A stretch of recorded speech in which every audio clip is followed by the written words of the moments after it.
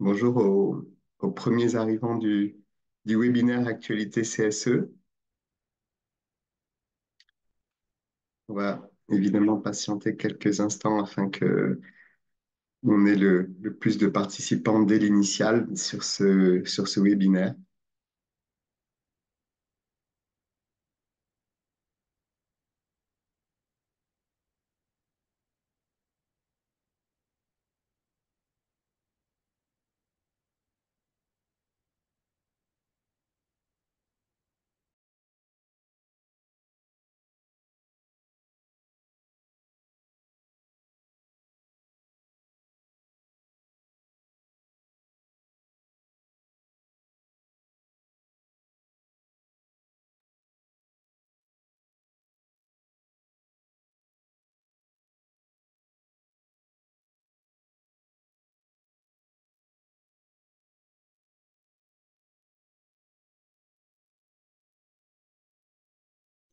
Bonjour à tous les gens qui nous, qui nous rejoignent pour, euh, pour ce webinaire. On attend juste encore quelques secondes et nous allons commencer euh, l'introduction euh, se rapportant à, à, cette, euh, à ce webinaire qui se veut extrêmement divers. Euh, bonjour Marie et bienvenue pour ce webinaire. Merci de, de nous rejoindre. Alors, je sais que c'est jamais très évident en fin de, de période fiscale euh, avec euh, une année qui a été très, très lourde, très riche et avec beaucoup d'interventions euh, et de webinaires, de formations au sein de l'ordre, de la compagnie pour ceux qui sont inscrits. Ça fait toujours euh, une période très, très riche, très dense, mais hum, on est jusqu'au bout pour essayer de pouvoir apporter le maximum d'actualité euh, parce qu'évidemment, c'est, notre essentiel à nous. Bonjour Thierry également. Heureux de, heureux de te lire. Bonjour à tout le monde. Euh, donc, on va commencer à présent. euh, et évidemment, si vous avez des, questions, des points, ben, je suis évidemment à votre disposition. Le but du jeu, c'est d'avoir évidemment un webinaire qui soit sur ce type de format, en tout cas, extrêmement, euh, extrêmement disponible et extrêmement réactif. Euh, évidemment qu'on avait échangé euh, lors de nos précédents webinaires sur le fait que ces missions CSE sont trop souvent développées, travaillées par quelques cabinets qui sont spécialisés dans le domaine du, du CSE, des cabinets bien sûr d'excellent niveau. Euh, Il n'y a aucun sujet de ce côté-là, mais euh, quand on voit le marché euh, des, expertises CSE et de l'assistance CSE, on se rend compte qu'il y a à peu près euh, euh, 160 millions d'euros qui sont dédiés sur deux cabinets. Un troisième qui est d'excellent niveau également. Et puis après, en dessous, on a extrêmement peu d'intervenants, même si moi d'ailleurs, à titre personnel, j'en fais également partie, bien sûr. Mais euh, c'est bien dommage parce qu'aujourd'hui, les CSE euh, sont des structures qui ont besoin d'assistance et pour lesquelles ces missions d'expertise sont extrêmement développées.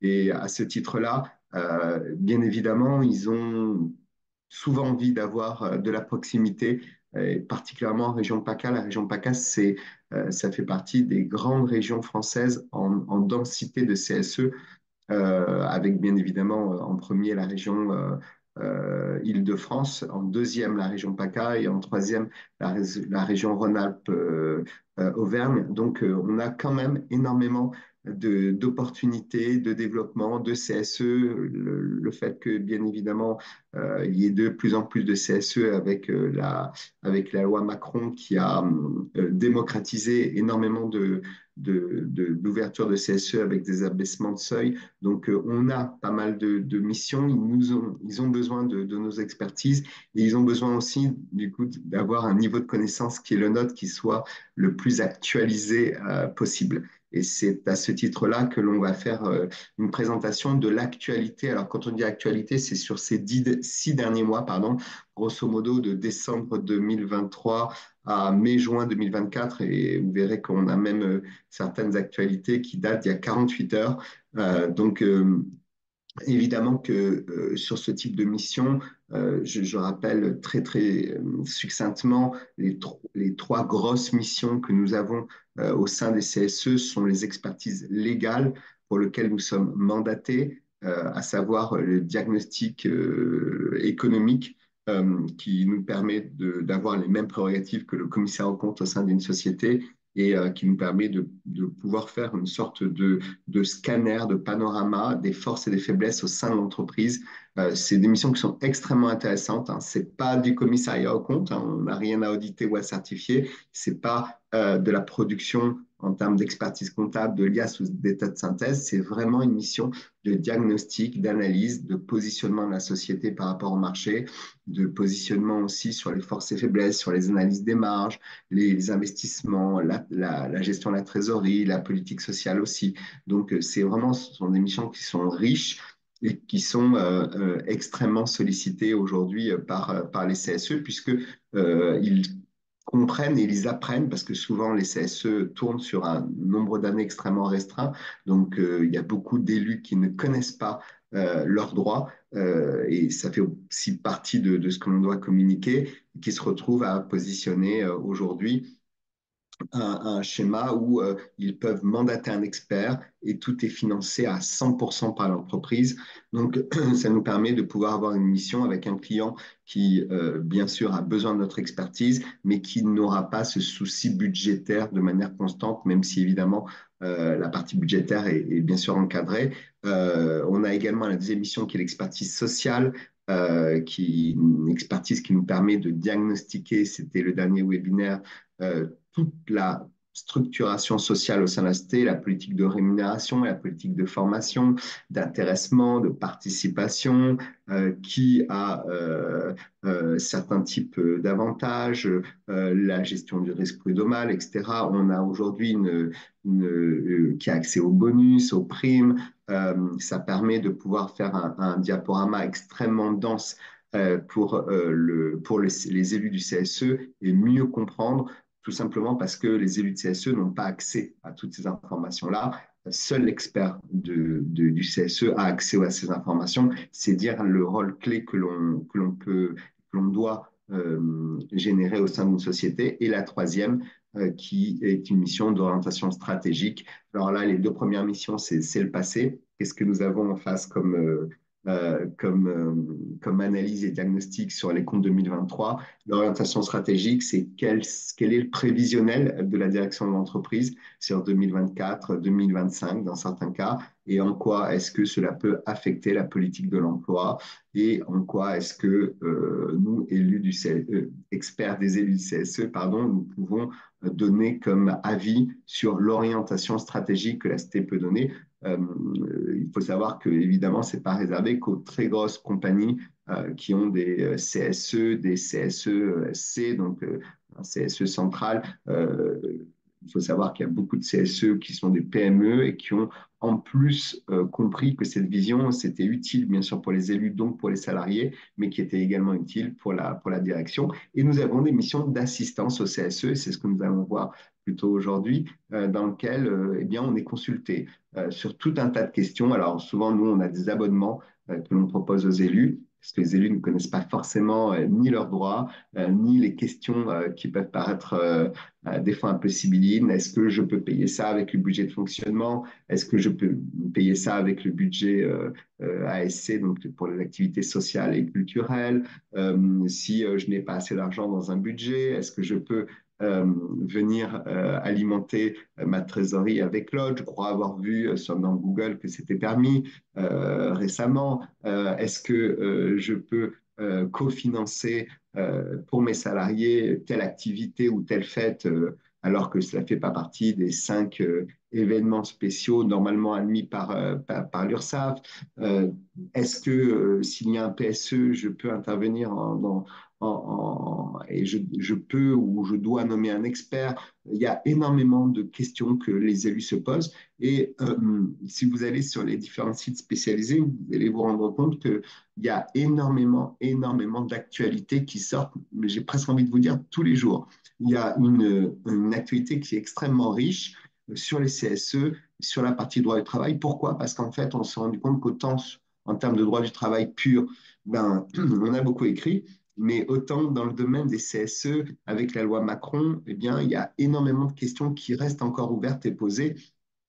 Nous, on en a, j'ai le, le, plaisir d'être euh, le président de la commission CSE pour euh, la région PACA, mais j'ai le plaisir aussi euh, de faire partie de la commission nationale CSE au Conseil national de l'ordre. Et euh, on a régulièrement des questions de consoeurs, de confrères euh, qui nous disent, mais qu'en est-il Je suis sur une mission de CSE, qu'en est-il de mes obligations sur la lutte anti-blanchiment Qu'en est-il sur le sujet d'RGPD est-ce que j'ai accès à telle information L'employeur ne souhaite pas me la communiquer. Est-ce que j'ai des prérogatives sur ci Est-ce que j'ai des prérogatives sur ça Donc, il y a énormément de questions qui se posent. C'est pour ça que l'actualité est extrêmement dense puisque en réalité, euh, nous sommes amenés presque à répondre au fur et à mesure euh, à ces questions-là. Et euh, dans certains cas, eh bien, on se rend compte qu'il y a des carences et les élus décident de l'Assemblée nationale décident d'y répondre en précisant certains textes, en précisant certaines réglementations qui ne sont pas assez précises. Donc, c'est à ce titre-là que nous allons faire ce webinaire, donc qui va examiner ces actualités. N'y voyez pas de logique euh, ou de cohérence euh, de thème. Euh, on, va examiner, euh, c'est ce qui en fait aussi l'intérêt et, la diversité, toute l'actualité, enfin, toute, ce serait euh, prétentieux, mais en cas une grande partie de l'actualité de ces six derniers mois, mais sur plein de thèmes différents. L'idée est bien sûr que l'on puisse, à l'issue de ce webinaire, ben, être up-to-date, comme on dit, d'être complètement à la page sur tout ce qui s'est passé sur ces six derniers mois dans le domaine se rapportant au CSE. Voilà. Donc, merci pour votre présence. Nous allons commencer par la, la, première euh, actualité. Et d'ailleurs, j'en profite pour préciser à tous les, personnes qui assistent à ce, à webinaire que euh, la commission CSE serait très heureuse d'accueillir d'autres consoeurs, d'autres confrères qui veulent intervenir avec nous. Et ce serait avec bonheur que euh, on aurait euh, la chance de participer, de continuer à, collaborer avec d'autres confrères, d'autres consoeurs sur, ce, sur cette commission qui est la dernière commission du Conseil de l'Ordre. Elle est toute jeune, elle n'a que, que, deux ans, donc euh, on, accueille avec bonheur tous les, toutes les consoeurs et confrères qui veulent nous aider à travailler sur ce thème qui est un thème très riche. Alors, on va commencer par euh, le plus récent, puisqu'on parle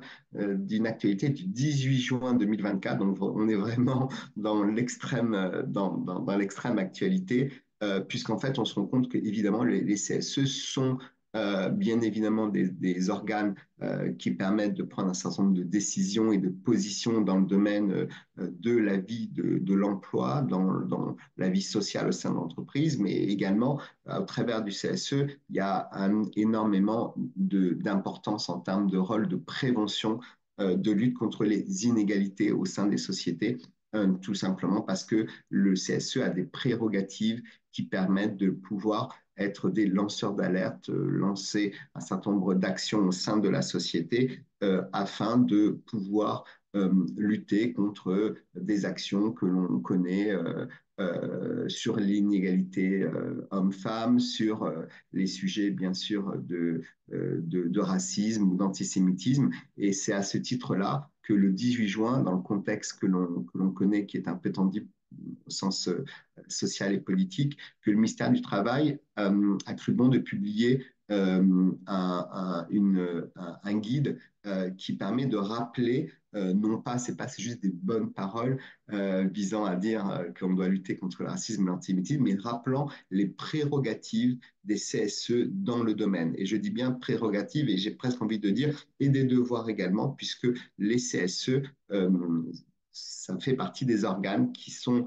euh, qui peuvent se mobiliser euh, afin de pouvoir demander euh, des enquêtes, faire nommer des experts et au besoin prévenir l'inspection du travail en cas de non-respect de l'égalité que ce soit encore une fois homme-femme, que ce soit dans la lutte contre le racisme, des discriminations, euh, quelles qu'elles soient, liées à l'origine euh, des personnes et à l'antisémitisme également. Euh, et en fait, ce, ce, cette notion réglementaire est issue de la notion de droit d'alerte, qui est l'article L231259 euh, du Code du travail. Bon, je le précise pour mémoire parce que ça, c'est pas ce qu'on va retenir plus particulièrement, la réglementation. Mais en fait, il faut se rappeler juste que le CSE à un process dans lequel, si le CSE est, euh, est sollicité et informé en interne, s'il se rend compte qu'il y a une problématique au sein euh, d'une société, eh bien, ce n'est pas juste une consultation, c'est une obligation de la part des élus du CSE euh, de, de, déposer une sorte de réclamation auprès de la direction. Euh, c'est ce qu'on appelle une sorte de pré-enquête dans lequel euh, on doit absolument euh, solliciter la, direction pour comprendre s'il y a eu une difficulté particulière ou un événement particulier dans lequel il y a eu un sujet de discrimination. Euh, encore une fois, c'est discrimination homme-femme, racisme, antisémitisme, euh, discrimination en fonction de, du, genre, de la religion, de la communauté de personnes. Et si la direction n'est pas en capacité de pouvoir répondre de manière suffisamment euh, légitime selon les élus du CSE, eh bien, euh, le, les élus du CSE ont la capacité et presque, je dirais, le devoir euh, de, de, solliciter une expertise dans laquelle il va y avoir un certain nombre d'analyses sur les origines de cette problématique et vont être dans le cadre d'une procédure d'alerte avec la capacité de faire intervenir évidemment également l'inspection du travail. Donc euh, euh, ça, c'est pas une réglementation qui est récente, mais le 18 juin 2024, compte tenu d'un contexte un petit peu tendu, on va dire ça comme ça, le, le, ministère du Travail a décidé de publier ce guide. Alors, il est extrêmement facile à trouver. Hein, c'est le guide de sensibilisation des membres des CSE d'entreprise à la prévention et lutte contre le racisme, l'antisémitisme antisémitisme et des discriminations liées à l'origine. Euh, c'est un plan 2023-2026 dans lequel euh, eh bien, euh, on, rappelle les prérogatives et les devoirs des élus des CSE à ce, à ce titre-là. Et encore une fois, c'est beaucoup d'opportunités et de prérogatives pour des élus de pouvoir mener à bien euh, ce type de sensibilisation. Donc, si aujourd'hui euh, vous êtes sollicité par des élus de CSE pour dire est-ce que nous, de notre côté, euh, on a tel ou tel événement, est-ce qu'on doit ou est-ce qu'on peut réagir? La réponse est plutôt oui, vous devez réagir. c'est pas de l'immixtion dans, dans la vie sociale de l'entreprise à tort, c'est un devoir que les élus de CSE doivent avoir. Et donc, ça date du 18 juin, 18 juin 2024. Euh, nous continuons avec euh, une actualité qui est une actualité qui a fait énormément parler. Euh, c'est celle qui a fait le plus parler euh, ces six derniers mois. Hein, on parle d'une décision du 3 avril 2024, euh, puisqu'en fait, évidemment, c'est une actualité qui a bien sûr généré des conséquences à la fois pour le sujet même euh, qui est visé par euh, cette, jurisprudence, mais également qui a ouvert tout un tas euh, comme une boîte de Pandore de sujets sur, euh, sur des points dans lesquels la notion d'ancienneté, de conditions et de critères d'éligibilité d'ancienneté euh, se sont positionnés à tort. Alors on va rappeler rapidement euh, le, contexte. Euh, le 3 avril 2024, la Cour de cassation a statué que le CSE ne pouvait plus conditionner l'accès aux activités sociales et culturelles. Donc, on rappelle que, bien évidemment, dans les budgets CSE, vous le savez, il y a deux types de budgets. Les budgets de fonctionnement pour pouvoir faire fonctionner la vie euh, du, CSE, que ce soit du photocopieur à l'accès Internet sur la documentation ou euh, le simple téléphone dédié ou au local dédié aux élus du CSE. Mais évidemment, on connaît bien le CSE, anciennement comité d'entreprise pour les gens qui l'appellent encore comme ça, dédié aux activités sociales et culturelles. C'est-à-dire que le CSE va être amené à positionner un certain nombre de prise en charge de financement ou de cofinancement euh, visant à pouvoir aider les salariés à réaliser un certain nombre de loisirs. Alors, ça peut aller du concert de Jules au Vélodrome ou à l'Arena à Nice jusqu'à euh, la prise en charge euh, du cofinancement sur des colonies de vacances, euh, en passant par des stages de formation en anglais ou dans d'autres domaines sportifs. Donc évidemment, la partie sportive est, est extrêmement, est extrêmement développée, billetterie de cinéma, etc. etc. Et ces deux budgets sont évidemment extrêmement distincts. Donc, ce qui fait que nous, en tant qu'experts comptables, quand on accepte une mission même de tenue comptable, il faut savoir que quand on dit qu'on doit tenir une comptabilité euh, d'un CSE, c'est presque trois bilans et trois comptes de résultats, puisqu'on présente un compte de résultat euh, pour la partie euh, budget de fonctionnement, un compte de résultat pour la partie ASC et un compte de résultat entre guillemets consolidé, enfin qu'on appelle agrégé, euh, qui permet de présenter une image globale et fidèle euh, du, de, la, de la situation comptable du CSE. Donc, on a des budgets qui sont extrêmement euh, distincts et évidemment, les élus du CSE ben, dépensent en général beaucoup plus facilement et beaucoup plus rapidement. Leur budget ASC, puisque sont presque, c'est presque la, le budget attendu par, par les, par les salariés en disant euh, bah, qu'est-ce que fait le CSE pour moi? Est-ce qu'ils vont m'aider à financer euh, euh, tel voyage? Est-ce que grâce au, budget ASC, je vais pouvoir payer moins cher mon abonnement à la salle de sport ou avoir forcément ce que les salariés appellent des réductions, mais qui n'est rien d'autre qu'un cofinancement euh, du CSE qui va participer sur son budget à tel ou tel événement, ce qui fait que pour les salariés euh, de cette société-là, bien évidemment, ils vont payer, euh, ils vont payer moins cher leur participation, mais c'est bien à la fin quelqu'un qui paye et au-delà des quelques remises qui sont négociées, c'est souvent la prise en charge sur le budget de l'ASC. Hein, je parle aussi des chèques vacances, tout le monde connaît. Donc en fait, là où les élus sont extrêmement sensibles euh, à, ce niveau de dépenses, c'est euh, ce budget d'activité sociale et culturelle. Alors, pour ce faire, euh, beaucoup d'élus, au fur et à mesure des années, ont pris la décision de se dire, bon, c'est quand même un budget important et on le réserve aux gens qui vont quand même avoir un minimum d'ancienneté. Quelqu'un qui va venir faire un stage au sein de l'entreprise, quelqu'un qui va euh, euh, être présent au bout d'un mois ou deux, et puis là, il y aura une rupture de la période d'essai. Est-ce que finalement, c'est très légitime que cette personne-là puisse bénéficier dès le premier jour euh, dès le premier jour, il va avoir une réduction, alors que moi qui suis là depuis plusieurs années, j'y ai droit de la même manière. C'est pas très légitime. Donc, à ce titre-là, le, principe a été de développer un,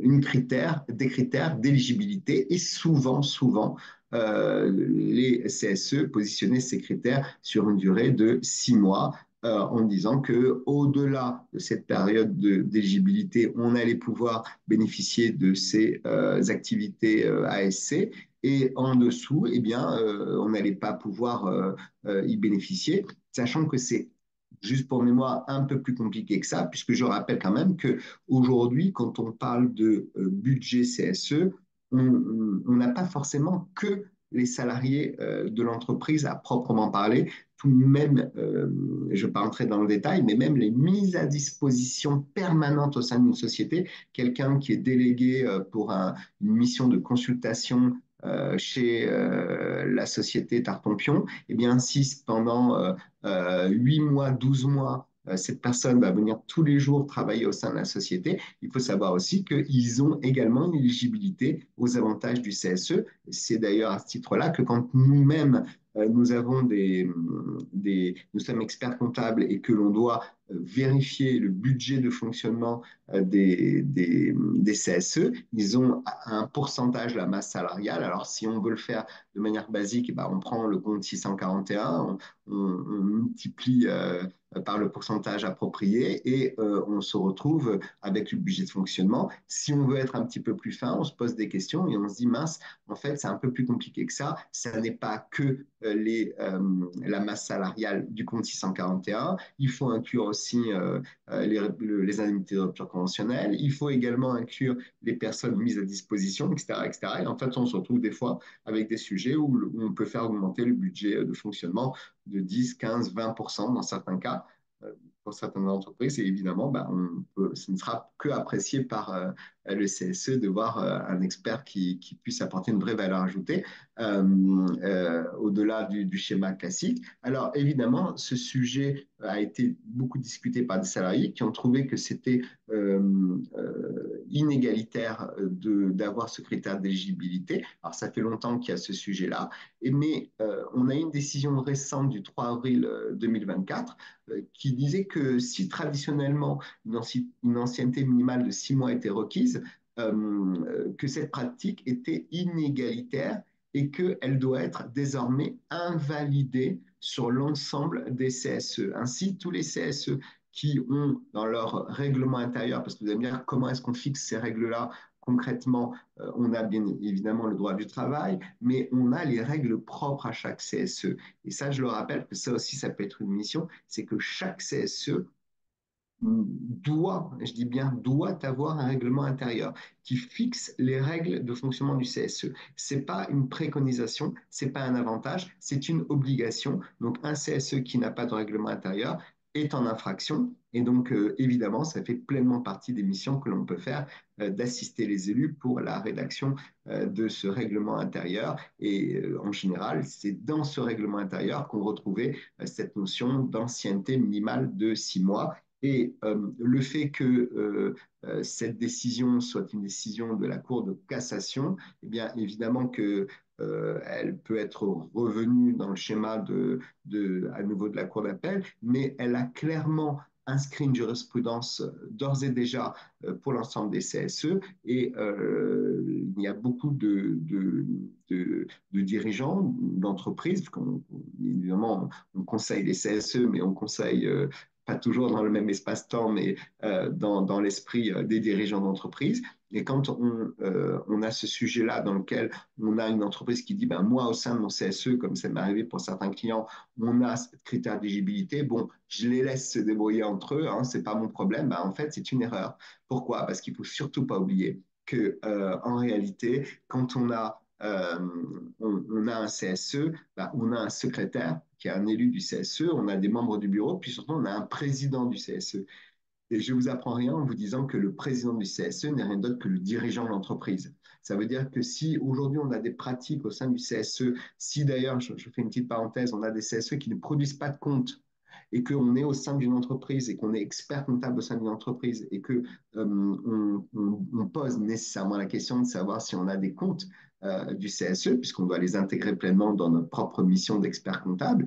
Si on dit non, non, le CSE, euh, ils sont pas très bons, euh, ils sont, ils s'en sont pas occupés, il n'y a pas eu de, de production comptable, et bien on se retrouve en difficulté et on met notre client en difficulté si on est côté direction, euh, parce que en fait, le président du CSE doit s'assurer que, bien sûr, il y ait une tenue comptable euh, et qu'on ait des comptes à présenter, un ASC fonctionnement et, global agrégé. Donc, évidemment qu'on est pleinement intéressé. Et sur ce sujet-là qui nous concerne, si on a un CSE dans lequel il y a ce critère d'éligibilité à six mois, eh bien, il est de l'obligation du dirigeant d'entreprise de venir vers euh, les élus du CSE pour dire, écoutez, moi, je ne vais pas m'immiscer dans, dans votre gestion. Par contre, euh, vous n'êtes pas en respect de la jurisprudence et euh, nous vous remercions de vous mettre en ligne avec ce sujet-là et d'actualiser le règlement intérieur qui doit bannir tout critère d'éligibilité. Et d'ailleurs, comme je le disais en préambule, tous les documents internes doivent être bien sûr euh, mais c'est surtout la notion de réévaluation budgétaire. Quand en fait on présente les comptes au sein du CSE, on présente les comptes de l'année, mais on, doit, on a l'obligation, comme pour les associations, de présenter des budgets à venir. Et si en fait on a budgété 2024-2025 euh, en tenant compte de ce critère d'éligibilité, parce qu'évidemment, ça fait beaucoup moins euh, de salariés éligibles, eh bien, non seulement on doit modifier le règlement intérieur, mais en plus, on doit aussi corriger les budgets euh, qui doivent être revotés à nouveau. Donc, bon, ça a l'air d'être quelque chose qui est extrêmement anodin, mais évidemment, dans une entreprise qui a 50 salariés à peine, les impacts vont être relativement limités. Mais si vous êtes amené à conseiller euh, que ce soit des élus ou que ce soit une direction d'une société qui a 200 ou 300 salariés, eh bien, vous verrez que ce n'est pas anodin et que nous devons intervenir en tant que conseil sur ce sujet-là. Et d'ailleurs, à ce titre-là, euh, beaucoup de, juristes ont tiré conséquence en disant si la Cour de cassation a dit que pour un certain nombre de critères, la notion d'ancienneté n'était pas un critère d'éligibilité, eh bien, on doit se poser donc des questions sur d'autres aspects dans lesquels on a mis en place des critères d'éligibilité. Certains, alors évidemment, que vous connaissez comme euh, l'accès à la mutuelle, évidemment que c'est une aberration, mais d'autres sur l'accès à un certain nombre euh, d'avantages euh, dédiés aux salariés. Euh, je parle aussi aux entreprises qui ont mis en place des, ce qu'on appelle en anglais des chief, chief happy officer, donc des gens qui sont dédiés pour essayer d'améliorer la vie du quotidien au sein de l'entreprise, eh bien, euh, évidemment, c'est important de se, de, de, dire que euh, si on donne des critères, par exemple, euh, la possibilité de participer financièrement à l'achat d'une trottinette électrique, je ne sais, pour prendre un exemple, et que euh, on le réserve à des salariés qui ont plus de six mois d'entreprise, eh bien, ça tombera également sous la même actualité. Voilà. Donc, ça a l'air basique comme information, mais ça a des conséquences, et puis ça nous fait intervenir côté direction quand on est sollicité, côté CSE, euh, la modification du règlement intérieur, la modification euh, budgétaire, la revue aussi d'autres euh, avantages qui sont dédiés aux salariés pour s'assurer si ce critère, d'éligibilité est notable ou pas. Donc, euh, c'est euh, si vous allez sur les, des moteurs de recherche et vous regardez les actualités CSE, vous allez voir que la page qui revient le plus souvent, c'est euh, cette actualité du 3 avril 2024. Donc, euh, dès euh, l'intégration d'un nouveau collaborateur, eh bien, pleinement d'éligibilité dès le premier jour.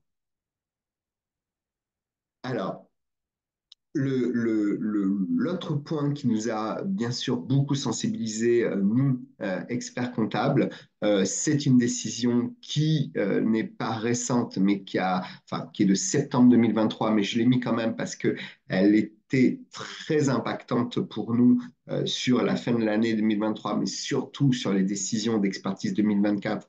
Et ça, on sait qu'on est sur la période de mai, juin, juillet, c'est là où on, va le plus mobiliser d'expertise et donc mobiliser des missions euh, d'opportunités pour nous. Euh, c'est que jusqu'à maintenant, qu'est-ce qui se passait? On a dans les missions légales, on le disait, cette notion d'expertise euh, financière, diagnostic des situations financières, dans lequel on nous désignait pour pouvoir euh, euh, établir. On avait donc, comme je le disais, on a les mêmes prérogatives. On avait euh, que le commissaire en compte de, de l'entreprise. Personne ne peut venir nous dire c'est confidentiel. Vous êtes l'expert du CSE. On ne va pas vous le communiquer. Moi, je l'ai eu assez souvent, que ce soit sur des petites structures ou des plus grosses structures. Et à ce titre-là, ben, j'opposais à chaque fois la réglementation qui disait ben, écoutez, j'ai une prérogative que le commissaire en compte. Si vous disiez à votre commissaire en compte que vous ne vouliez pas donner tel document en lui disant que c'est confidentiel, peut-être qu'il euh, y aurait une petite problématique euh, à ce titre-là. Ben là, c'est exactement pareil pour moi. Je suis un expert désigné par le CSE dans le cadre d'une mission d'expertise légale. Et à ce titre-là, rien ne peut m'être opposé en termes de confidentialité. Donc, euh, on commence par, bien sûr, l'analyse des chiffres. C'est une sorte de diagnostic financier, mais on va aller un petit peu plus dans le détail. Comment euh, l'argent est investi, quel type d'investissement, quel type d'immobilisation, euh, comment est gérée euh, l'analyse des marges au sein de la société, est-ce qu'on développe une activité, des activités sectorielles qui sont des activités qui peuvent générer assez de marge pour faire fonctionner la société ou est-ce qu'on fait fausse route? Est-ce qu'on va avoir un niveau d'endettement qui est anormalement élevé? Est-ce qu'on a euh, euh, des ratios euh, qui sont inhabituels dans le secteur d'activité? Est-ce que euh, on a une politique salariale qui est qui est saine? Est-ce que tout le monde a les mêmes accès à la formation continue Comment gérer tel type ou tel autre d'investissement au sein de la société. Donc, on, vraiment, on présente un rapport qui est le plus complet possible. Et ce sont des missions en général qui sont très intéressantes et sont aussi des missions qui sont très rémunératrices. Hein. Je rappelle juste que, parce qu'évidemment, on a, on a accès à ces chiffres-là, que la moyenne de la facturation jour pour nous, professionnels, sur ce type de mission, évidemment, ça dépend de la texture, de la complexité de la mission, euh, je vous apprends rien, mais on est quand même entre 900 et 1200 euros jour, moyenne, hein, entre les collaborateurs et euh, l'expert comptable. Euh, donc, quand on intègre le fait que ce soit une moyenne, bah, on se dit que c'est pas si mal euh, et c'est plus que pas si mal en termes de rémunération. Donc, ce sont des, rémunérations euh, qui sont assez attractives et des missions qui sont assez intéressantes pour notre profession. Et jusqu'à maintenant, bien évidemment, bah, dans le cadre de cette expertise légale, les codes du travail, on pouvait et on, on pouvait être désigné. C'est une obligation, c'est pas un devoir de la part des élus. Encore une fois, je le redis, ce sont des missions qui sont décidées par les élus du CSE, mais financées par euh, l'entreprise. Donc, on n'a pas de problématique directement budgétaire avec notre donneur d'ordre, mais évidemment, l'entreprise peut tout à fait euh, contester euh, notre intervention budgétaire si elle considère qu'elle est hors marché. Donc, c'est pour ça que c'est important de respecter ce IOTA de, d'entre 900 et 1200 euros hors taxe jour et justifier bien sûr notre qualification à ce titre-là. Mais jusqu'à maintenant, on pouvait être désigné pour une entreprise au sens national ou au sens local du terme, euh, quel est son siège à Marseille, à Toulon, à Nice euh, ou dans le Vaucluse, mais on pouvait être désigné y compris dans des établissements de l'entreprise. C'est-à-dire que si en fait on avait euh, aujourd'hui une cité qui a son siège en région PACA et qu'on avait euh, un, établissement en Alsace, eh bien, euh, le, euh, le, CSE euh, d'Alsace pouvait dire euh, à un expert comptable, on vous demande de nous faire un diagnostic de la situation financière, non pas au niveau de la société en tant que telle, mais de l'établissement. Pourquoi? Parce qu'en fait, on considérait jusqu'à peu qu'un euh, établissement était une entité autonome au sens juridique du terme et qu'à partir du moment où on avait une masse salariale qui était rattachée à l'établissement, à partir du moment où on avait un numéro de SIRET qui était euh, euh, dédié à cet établissement, on avait une autonomie euh, financière et qu'à ce titre-là, il était possible de désigner un expert. Ce qui fait que même pour moi, dans mon propre cabinet, j'avais quand même une part très significative d'expertise qui était dédiée au CSEE. E. Ça n'a rien d'autre que le comité social et économique de l'établissement. Je rappelle juste les termes.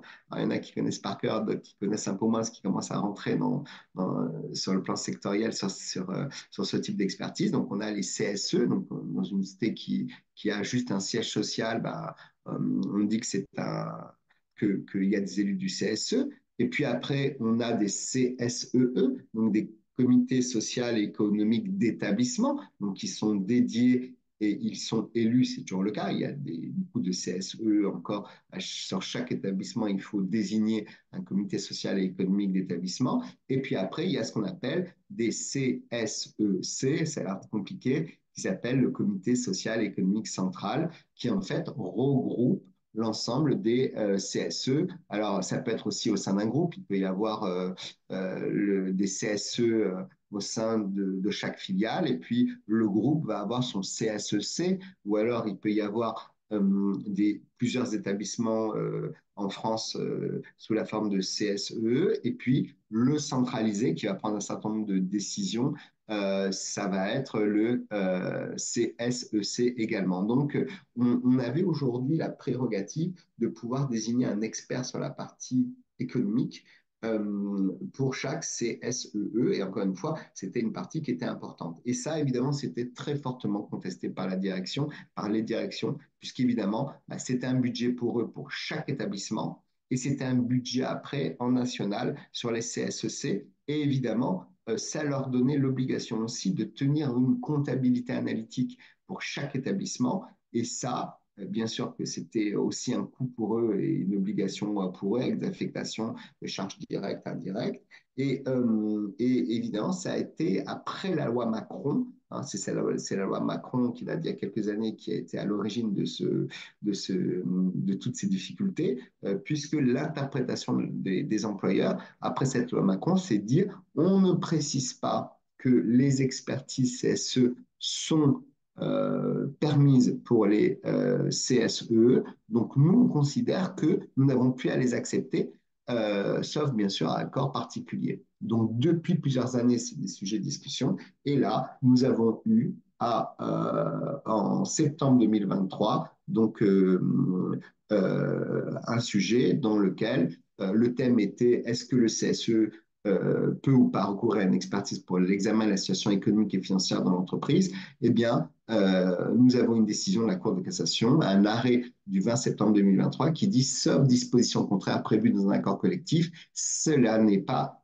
possible. Alors j'ai envie, envie de vous dire, ça n'est pas possible définitivement, parce que ça fait déjà plusieurs années que la discussion est là, mais euh, l'idée a été de trancher dans lequel, euh, euh, évidemment, dans le contexte, on a eu en fait une situation, une délibération 17 juin 2021. Vous voyez que ça date il y a maintenant trois ans, presque jour pour jour, une délibération dans laquelle un CSEE et moi-même j'ai été alors pas dans ce dossier-là, mais dans d'autres dossiers qui étaient similaires, on me désigne en tant qu'expert euh, euh, pour les élus du CSE pour faire une situation économique et financière de l'établissement. L'employeur saisit le président du tribunal judiciaire quand il y a une difficulté. Hein, euh, en général, entre un employeur et une expertise, c'est souvent le tribunal, tribunal judiciaire, donc le tribunal d'instance euh, donc euh, l'employeur le, le, euh, saisit donc ce tribunal afin de faire annuler cette délibération comme nulle et non avenue.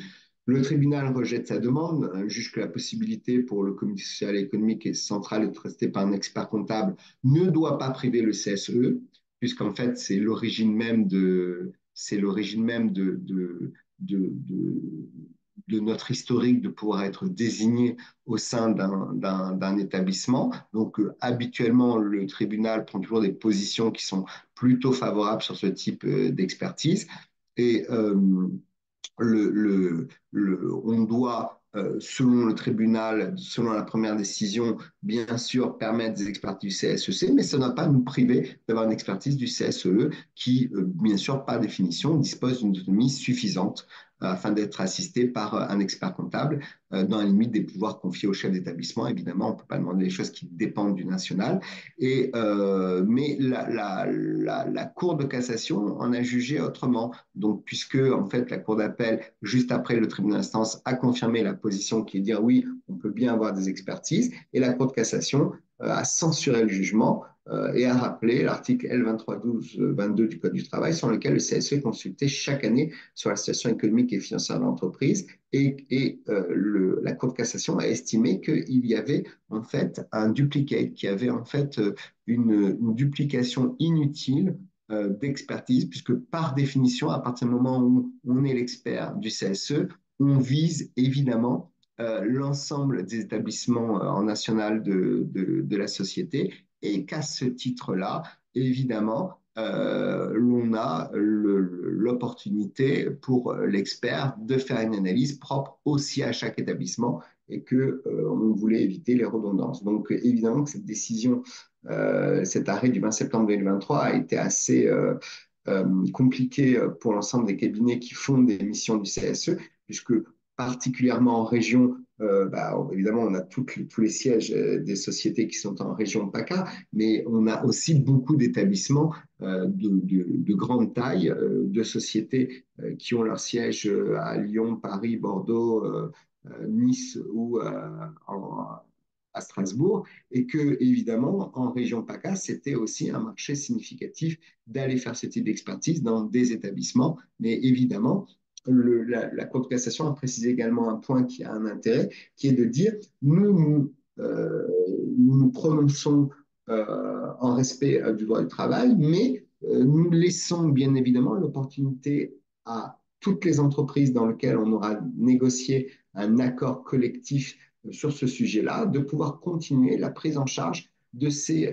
expertises liées au CSEE euh, si c'est un accord collectif entre l'employeur et euh, les euh, élus euh, du CSE. Donc, il y a heureusement euh, un certain nombre de sociétés qui ont, dont les élus ont dit, bon, ben, nous, ça va faire partie de nos demandes et de nos discussions avec l'employeur. On accepte euh, de, de, laisser cette prérogative, ce qui fait qu'aujourd'hui, nous avons encore des expertises liées aux établissements, mais qui sont inhérents à un accord entre euh, l'entreprise et euh, enfin la direction d'entreprise et les élus du CSE.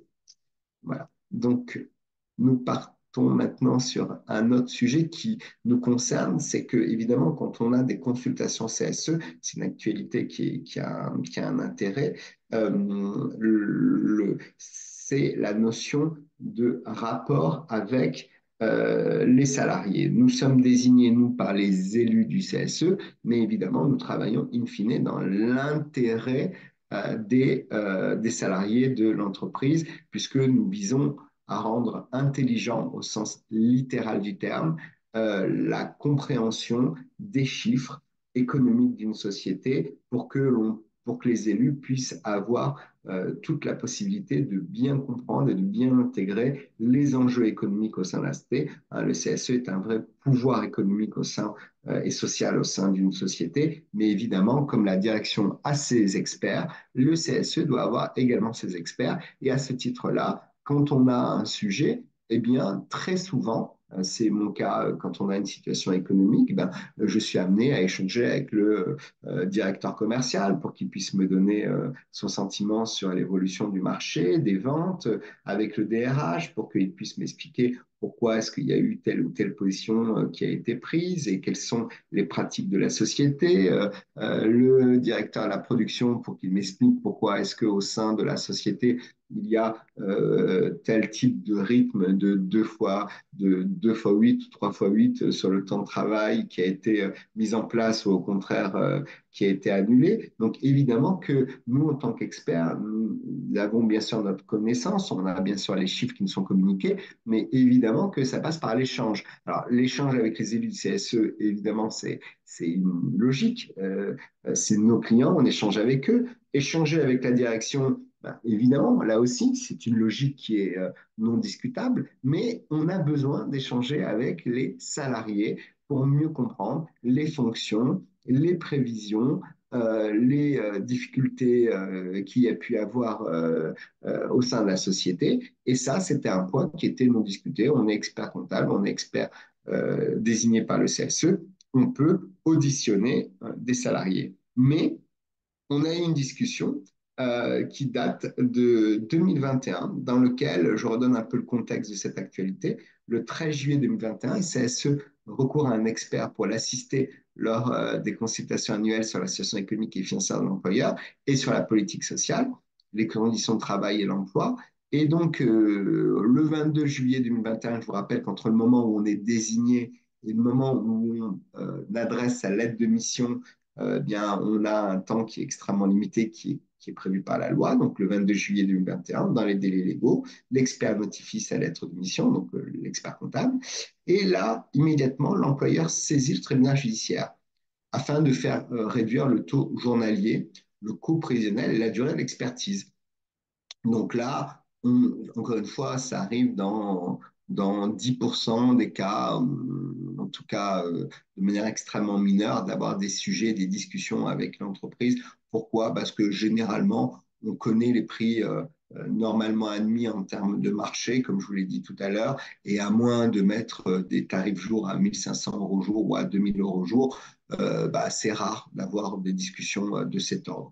Donc là, souvent, l'employeur, des fois, saisit le tribunal judiciaire pour montrer qu'il n'est pas très content qu'il ait eu cette expertise, pour ralentir un peu les process et pour donner le, le, un, signal au CSE qui est de dire, bon, euh, si vous amusez l'année prochaine encore à désigner un expert, c'est votre droit, mais on va vous mettre un peu de bâton dans les roues. C'est un peu le message qui est, qui est, souvent donné.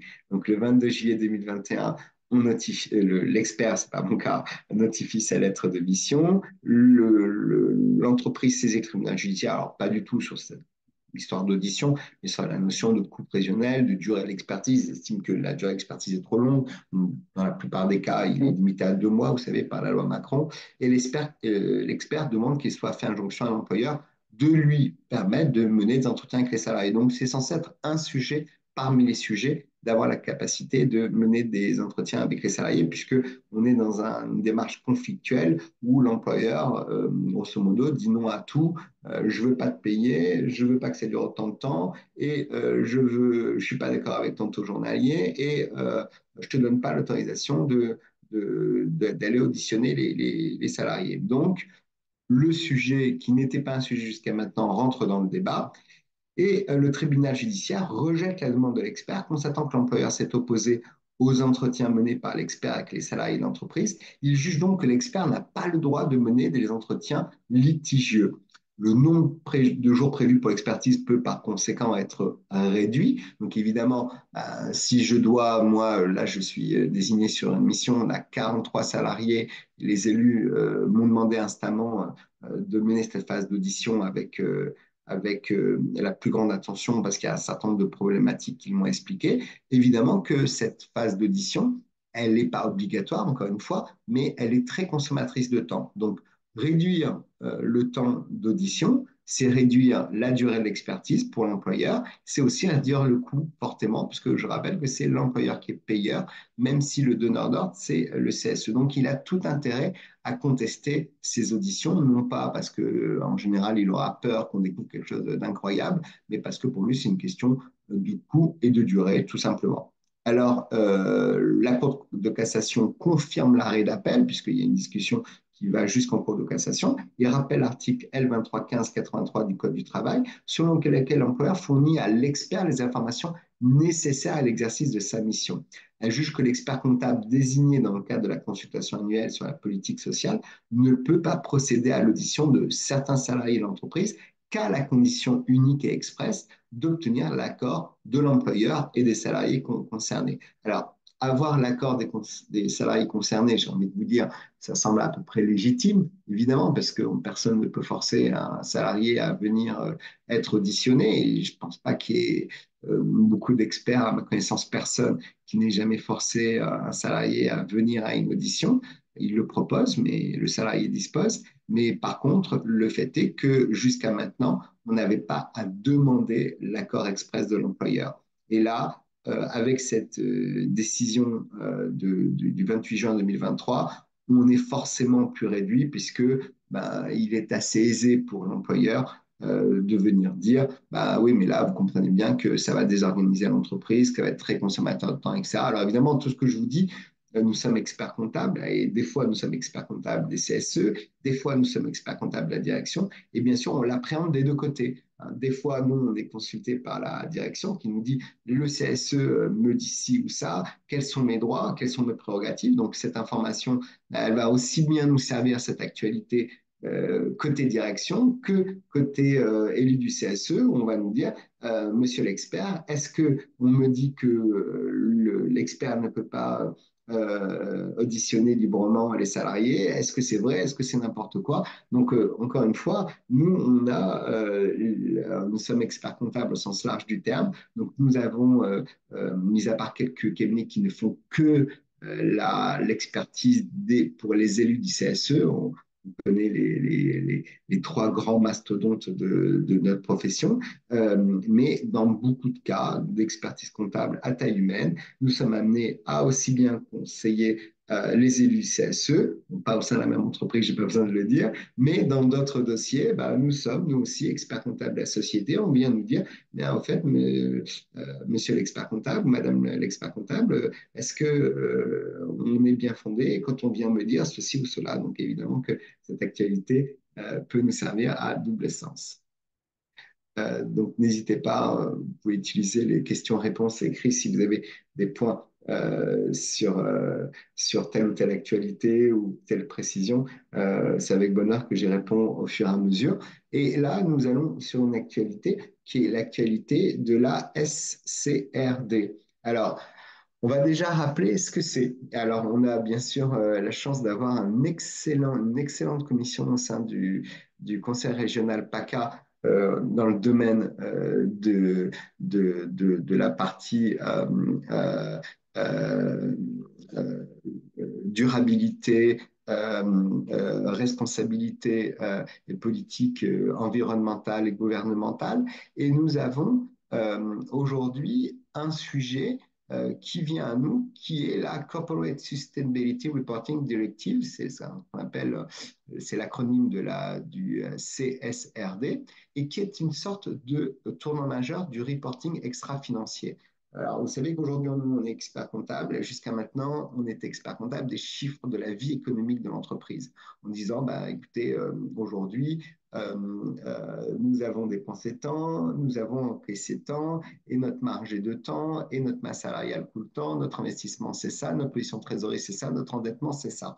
Ça, c'était notre, nos missions traditionnelles, qui sont toujours là bien évidemment, mais qui étaient la vision de l'expertise comptable, de l'historique, du chiffre. Maintenant, c'est pas récent, ça date d'il y a un certain nombre d'années, nous avons euh, évidemment des notions euh, de, euh, de, de, de, mesure, de durabilité, d'impact environnemental, de sujets qui se rattachent à la notion extra-financière. Et on se rend compte, alors évidemment, aussi bien en tant qu'expert comptable que commissaire au compte, vous avez tous été sensibilisés aux nouvelles missions euh, qui s'offrent à nous, euh, on a de plus en plus une notion où on ne devra pas uniquement mesurer euh, les chiffres euh, comptables, mais euh, également notre euh, track record, notre, nos performances de nos clients sur la partie extra financière. Et ça s'inscrit dans le cadre de la déclinaison du pacte vert européen. Donc, on vient de sortir de, de, des élections du, Parlement européen, donc on est encore un peu dedans. Donc, dans le cadre de cette déclinaison du pacte vert européen, euh, eh bien, euh, il y a cette directive-là, CSRD, qui vient prendre la place de la directrice, directive relative à la DPF, euh, qui rendent les obligations plus précises et plus contraignantes dans le domaine de l'entreprise au départ, qui nous dit, ben voilà, vous devez, pour un certain nombre de points, bien sûr, mesurer euh, tous les chiffres économiques de la société, mais vous devez aussi mesurer euh, euh, l'empreinte carbone. Vous devez également mesurer la notion de durabilité des produits que euh, vous allez produire. Vous allez mesurer un certain nombre d'éléments euh, pour euh, comprendre comment vous l'entreprise s'inscrit dans une politique environnementale et dans des actions qui se veulent participer à ces obligations et à ces opportunités de, de, durabilité. Et de facto, euh, eh bien, euh, quand on dit qu'on donne des obligations à des entreprises, ben, il faut bien quelqu'un qui les, une personne qui, qui, soit amenée à les mesurer. Et euh, le professionnel qui euh, est amené à mesurer ces chiffres-là et ces reporting extra-financiers, eh bien, tout naturellement, ça a été euh, l'expert comptable qui a été le professionnel de circonstances et d'évidence pour mesurer euh, ce type de performance extra-financière. Alors, beaucoup de consoeurs et de confrères ont commencé par dire bon, ça ne nous concerne pas, c'est pour les grandes entreprises. Euh, moi, j'ai pas la taille de société euh, euh qui a des obligations euh, de d'établir ce type de reporting. Mais en fait, on s'est rendu compte que c'était pas le cas. Pourquoi?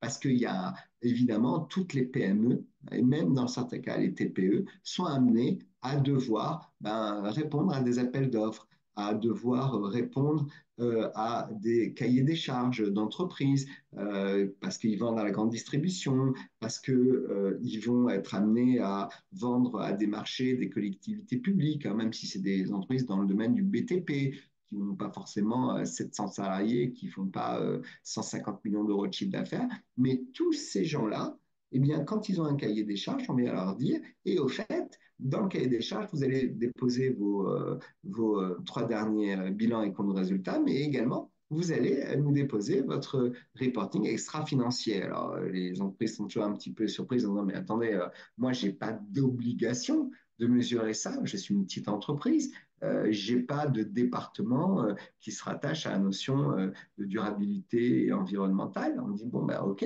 mais vous ne pourrez pas euh, rentrer dans le cadre de cet appel d'offres. Parce que nous, chez nous, vous, vous n'êtes pas éligible, mais chez nous, nous considérons que euh, euh c'est un critère qui est important pour euh, le, le, notre, niveau euh, d'analyse et de, contrôle des éléments extra-financiers. Et c'est à ce titre-là, donc je réponds à la question qui m'est posée, que la notion de CSRD a été mise en place. Et le lien, évidemment, avec notre webinaire, vous imaginez bien, c'est pas d'évoquer ce sujet, c'est de dire que à ce titre-là, on a considéré que le CSE euh, devait être également un sujet euh, pour euh, les CSE et donc évidemment euh, aussi pour des missions d'expertise qui se rattachent à ce sujet-là. Alors, ce n'est pas une expertise légale pour répondre à la question est-ce qu'il y a une mission prévue pour l'expert CCRD pour le CSE Alors, ce n'est pas aussi précis que les missions que l'on a en expertise légale, mais on peut bien évidemment euh, et j'ai presque envie de vous dire, on doit être assisté pour ce type de, mission-là euh, euh, par un expert, dans 99% des cas, un expert comptable, mis à part s'il y a une technicité particulière sur laquelle on doit avoir des sapiteurs, donc dans lequel les élus du CSE doivent s'assurer que l'information qui est délivrée par la société en termes de CSRD euh, une information qui est pertinente en termes euh, de durabilité euh, au même niveau d'ailleurs que l'information financière. Et ça doit être un outil d'analyse et de décision bah, à la fois pour les investisseurs, mais aussi pour nos propres clients, les propres clients de l'entreprise qui doivent avoir accès à ces informations-là. Alors encore une fois, il y a la catégorie d'entreprises qui ont l'obligation de les produire, ça, bien sûr, euh, on n'apprend rien. Sauf que là, avec cette décision-là euh, de 2024, on comprend que là, le CSE a une mission euh, d'analyse et une mission de, de, contrôle de la mise en place de ces, de ces, de ces reporting extra-financiers. Donc, on va les expertiser de la même manière qu'on expertise l'information financière ou la partie sociale, mais également, on a aujourd'hui un sujet dans, dans, toutes les entreprises qui n'ont pas l'obligation de le faire, mais par contre, si on est dans une entreprise qui ne produit pas ce type de reporting extra-financier, mais qui est dans des marchés qui exigent et qui demandent ce type d'information-là, il est du devoir, je n'ai pas dit de l'opportunité, du devoir du CSE de se mobiliser pour dire hey, euh, nous, euh, on n'a pas l'obligation légale, mais aujourd'hui, euh, on met en difficulté la vie d'entreprise et donc le, futur de l'emploi de nos salariés si cette prérogative n'est pas mise en place. Et nous, on désigne un expert à ce titre-là pour pouvoir s'assurer que nous faisons un reporting extra-financier qui soit pertinent. Donc, la CSRD, c'est un levier potentiel de changement pour les entreprises mais c'est également un sujet qui concerne pleinement le CSE et donc les experts du CSE.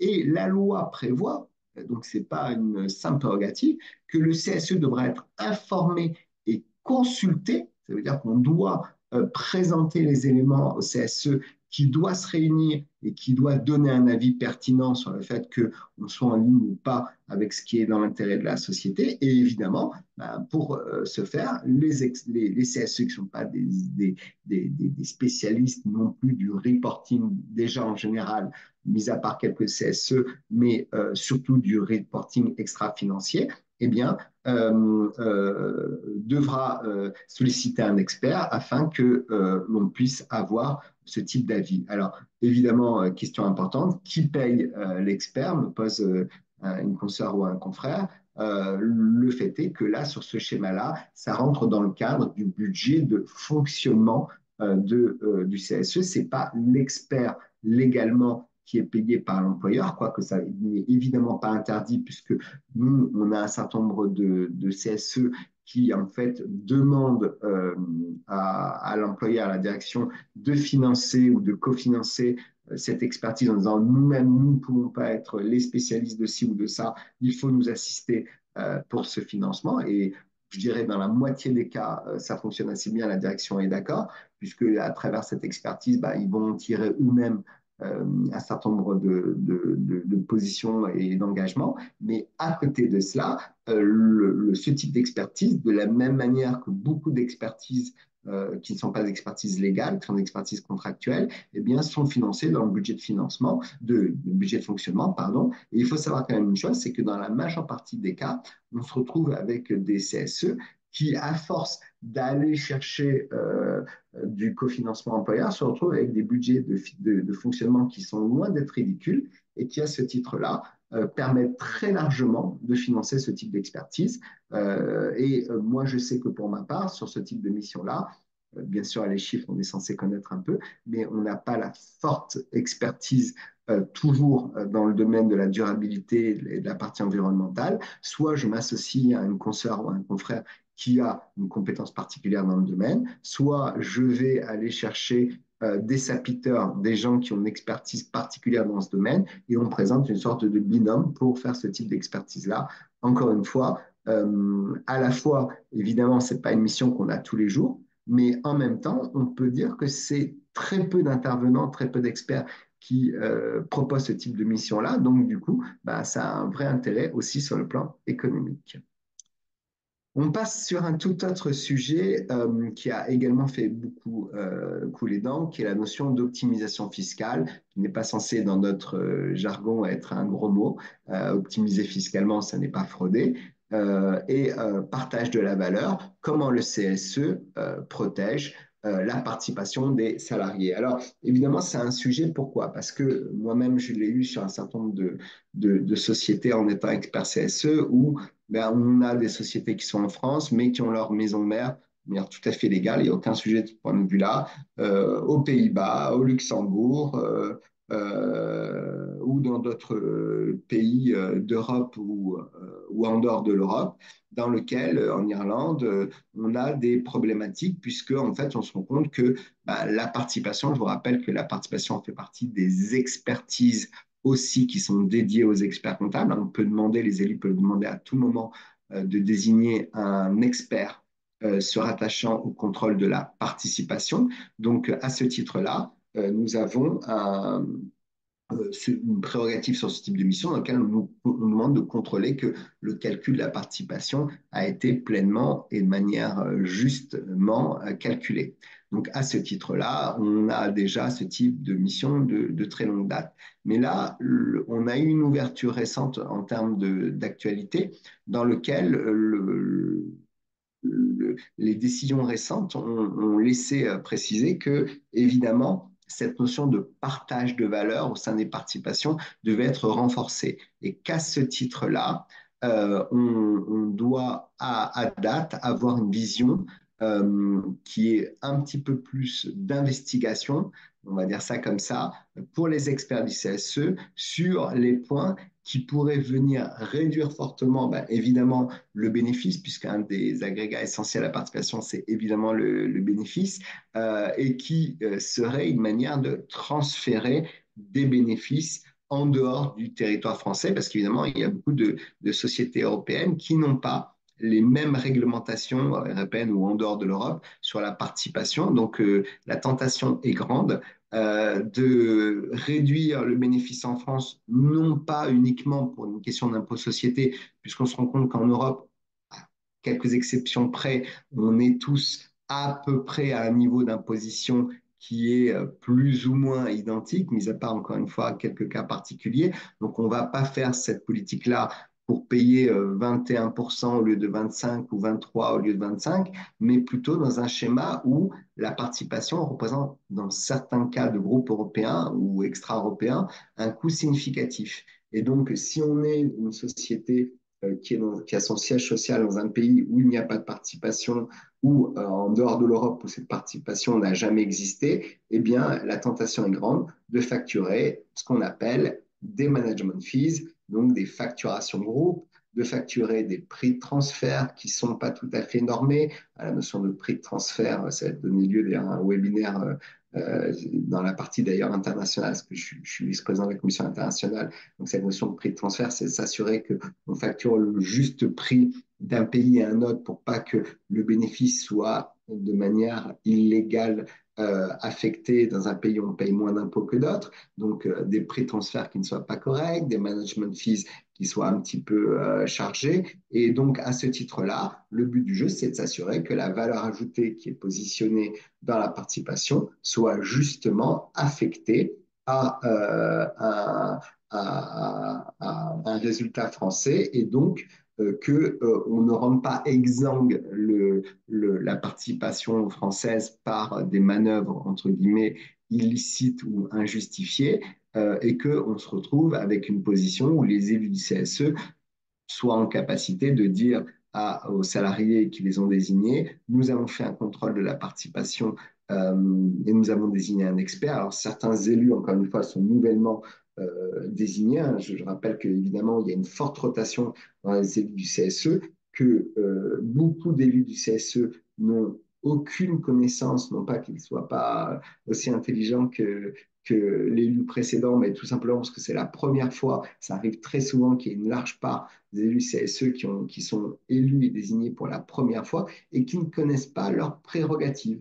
Ils savent qu'ils doivent tenir des comptes, ils savent qu'ils peuvent donner euh, des budgets euh, pour des allocations sociales et culturelles, ils savent qu'ils ont un budget de fonctionnement. Les choses essentielles, ils les savent. Mais par contre, savoir qu'ils peuvent désigner un expert pour faire un diagnostic économique et financier, un, un expert pour la politique sociale, nommer un expert quand il y a une procédure d'alerte, quand on pense qu'il y a un risque imminent euh, qui peut avoir ST et que là, dans quelques semaines ou quelques mois, on va être euh, en phase, on va devoir licencier du personnel. Eh bien, quand on est, nouvellement élu, on n'a pas ce niveau de connaissance. Et à ce titre-là, eh bien, c'est à nous aussi euh, de, prêcher et de prôner la bonne parole et la bonne connaissance pour les élus et faire en sorte qu'on puisse leur dire, mais vous savez, si vous le souhaitez, vous avez cette prérogative, vous pouvez désigner un expert.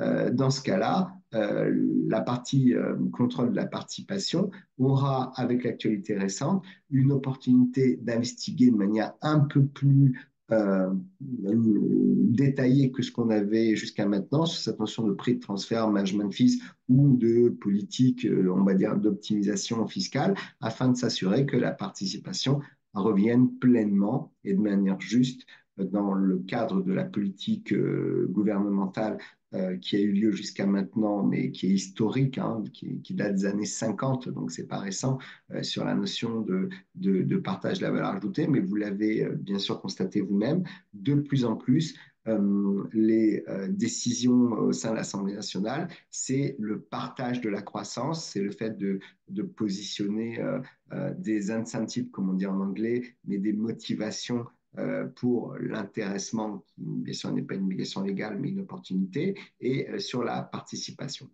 Donc, euh, à nouveau, sur cette activité, plus d'opportunités pour nous, en tant qu'experts, d'intervenir sur ce contrôle de la participation, notamment sur cette notion de politique fiscale.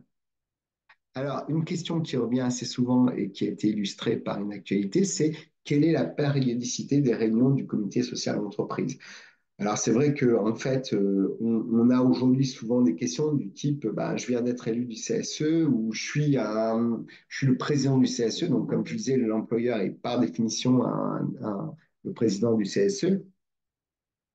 Et la question se pose de dire, euh, euh, aussi bien pour l'employeur, voilà, moi, les élus, ils veulent bientôt me mettre une réunion toutes les semaines, ou les élus du CSE qui disent, je ne sais pas combien je dois programmer de réunions au moins parce que ça se passe bien, on a une bonne relation avec l'employeur, on n'a pas spécialement besoin d'avoir beaucoup de réunions CSE parce que beaucoup de choses se traitent dans le quotidien et avec une bonne fluidité.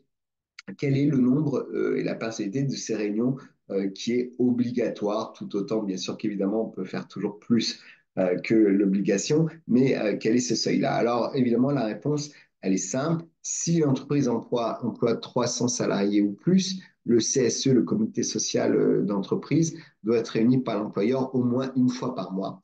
Euh, c'est une obligation légale, donc on ne peut pas y déroger. Euh, je rappelle aussi que la direction a la, capacité de déléguer la présidence euh, du CSE. Donc très souvent, d'ailleurs, dans les entreprises, c'est pas le président de la société qui est le président du CSE, mais souvent là où le DRH, ou là où le directeur financier, ou le secrétaire général de la société, qui, qui a la délégation, d'ailleurs c'est à ce titre-là que quand des fois il y a un peu de tension au sein d'un CSE et qu'on veut un peu embêter la direction, ou quand on veut au contraire prévenir euh, au niveau de la, de la, direction des sujets euh, s'il y a un conflit avec le CSE, on doit s'attacher à faire en sorte que cette délégation soit formalisée, soit écrite. C'est important de le rappeler parce qu'on ne peut pas avoir de délégation informelle sur la présidence du CSE.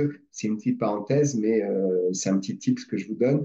Soyez très vigilants sur cette notion-là parce que quand on a des litiges avec un CSE ou quand le CSE a, euh, veut entrer en discussion et en litige parce qu'il y a un point euh, de contrariété avec la direction, bah, la question qui tue, c'est est-ce que vous avez une délégation formalisée, non, bah non, vous n'avez pas la capacité de siéger, donc on vous demande de, de, de, de ne pas intervenir au sein du CSE. Donc, euh, bon, c'est une question de formalisme, mais on est là aussi pour s'assurer que le formalisme est bien respecté. Donc, dans les entreprises de plus de 300 salariés, c'est une fois par mois. Et dans les entreprises de moins de 300 salariés, le minimum, c'est une réunion tous les deux mois. Euh, donc, on, ne peut pas lutter euh, contre ça. Ça veut dire que euh, nous, côté CSE, on peut très bien solliciter plus de réunions. On peut dire, bah, moi, compte tenu de la densité de tous les sujets, des fois, on a des ordres du jour, on a 30 points dans des CSE. Donc, euh, pas besoin de vous dire que 30 points, on y, tient toute la journée. Donc, euh, il y en a qui disent, bah, nous, compte tenu de la densité des points à voir, euh, on me demande une réunion, bah, non pas tous les deux mois, mais tous les mois, si j'ai moins de 300, non pas tous les mois, mais tous les 15 jours, si j'ai euh, plus de, euh, si j'ai plus de 300 salariés. Alors là, c'est à ce titre-là que l'actualité d'ailleurs s'est portée, c'est euh, la discussion qui a eu lieu euh, euh auprès du conseil prud'homal, CPH, en disant est-ce que oui ou non, je suis amené à euh, légalement accéder à la demande des salariés? Et là, il a été reconnu à l'employeur la possibilité de réunir le comité au-delà euh, de la partialité euh, minimale obligatoire. Alors, c'est ce qu'on appelle les réunions extraordinaires. Euh, donc, euh, à bien différencier quand on a un procès verbal, si on est en réunion ordinaire, donc dans la périodicité prévue par la loi ou extraordinaire. Mais on rappelle euh, qu'il est également permis aux élus du personnel de provoquer la tenue d'une réunion supplémentaire dans la limite d'une réunion extraordinaire entre deux réunions périodiques obligatoires. Ça veut dire que si, par exemple, c'est le cas que je vous donnais, on a une périodicité légale de deux mois ben, au bout d'un mois, on peut dire euh, l'élu peut solliciter une réunion extraordinaire, mais si c'est au-delà d'une réunion de plus que la périodicité obligatoire, eh bien l'employeur peut dire non, désolé, euh, euh, je n'accepte pas cette demande de réunion extraordinaire. Et à l'inverse, de la même manière, l'employeur a, la, possibilité de réunir au-delà de la partie minimale obligatoire, une réunion extraordinaire, mais dans les mêmes euh, tenants, c'est-à-dire pas plus qu'une de plus. On parle d'obligatoire. Quand c'est en accord entre le CSE et l'employeur, on peut bien sûr en, faire une tous les jours si on en a envie, euh, mais en tout cas, ce n'est pas le cas euh, concernant la partie purement légale. Alors, un point aussi qui est important, c'est cette notion, des fois qui est un peu confuse entre représentant syndical, délégué syndical, élu du CSE. Donc, euh, est-ce que moi, je peux être un représentant syndical au sein du CSE? On sait qu'au sein des CSE, il y a les représentations syndicales.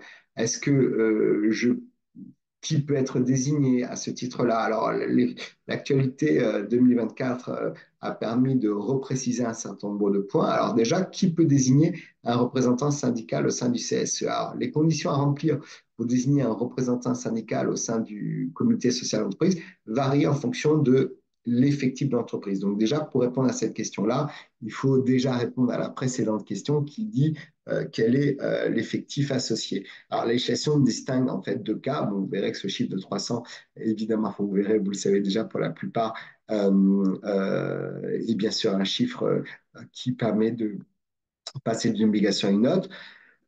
On distingue les entreprises qui ont un effectif inférieur à 300 et celles qui en ont plus. Dans les entreprises de moins de 300 salariés, un syndicat ne peut désigner que son délégué syndical pour le représenter au comité social euh, d'entreprise. Donc, pas de représentant syndical, mais un délégué euh, syndical. Ça, ce sont pour les entreprises de moins de 300 salariés. Ça veut dire que si on est nous-mêmes, des fois, les conseils d'une un, direction, qu'on a une entreprise qui a moins de 300 salariés, dans lequel on, a des élus qui nous disent, ben voilà, on a aujourd'hui un délégué syndical et on a eu la désignation d'un représentant syndical, eh bien, on dira non euh, la réglementation l'a précisé récemment, on ne peut pas, euh, le syndicat ne peut pas déléguer de représentant syndical, mais uniquement un délégué syndical. Alors vous allez me dire, quelle différence? Ben, La différence, elle est notable, puisque évidemment, c'est une question de délégation, c'est une question de prérogative, et c'est aussi euh, souvent une question d'immixtion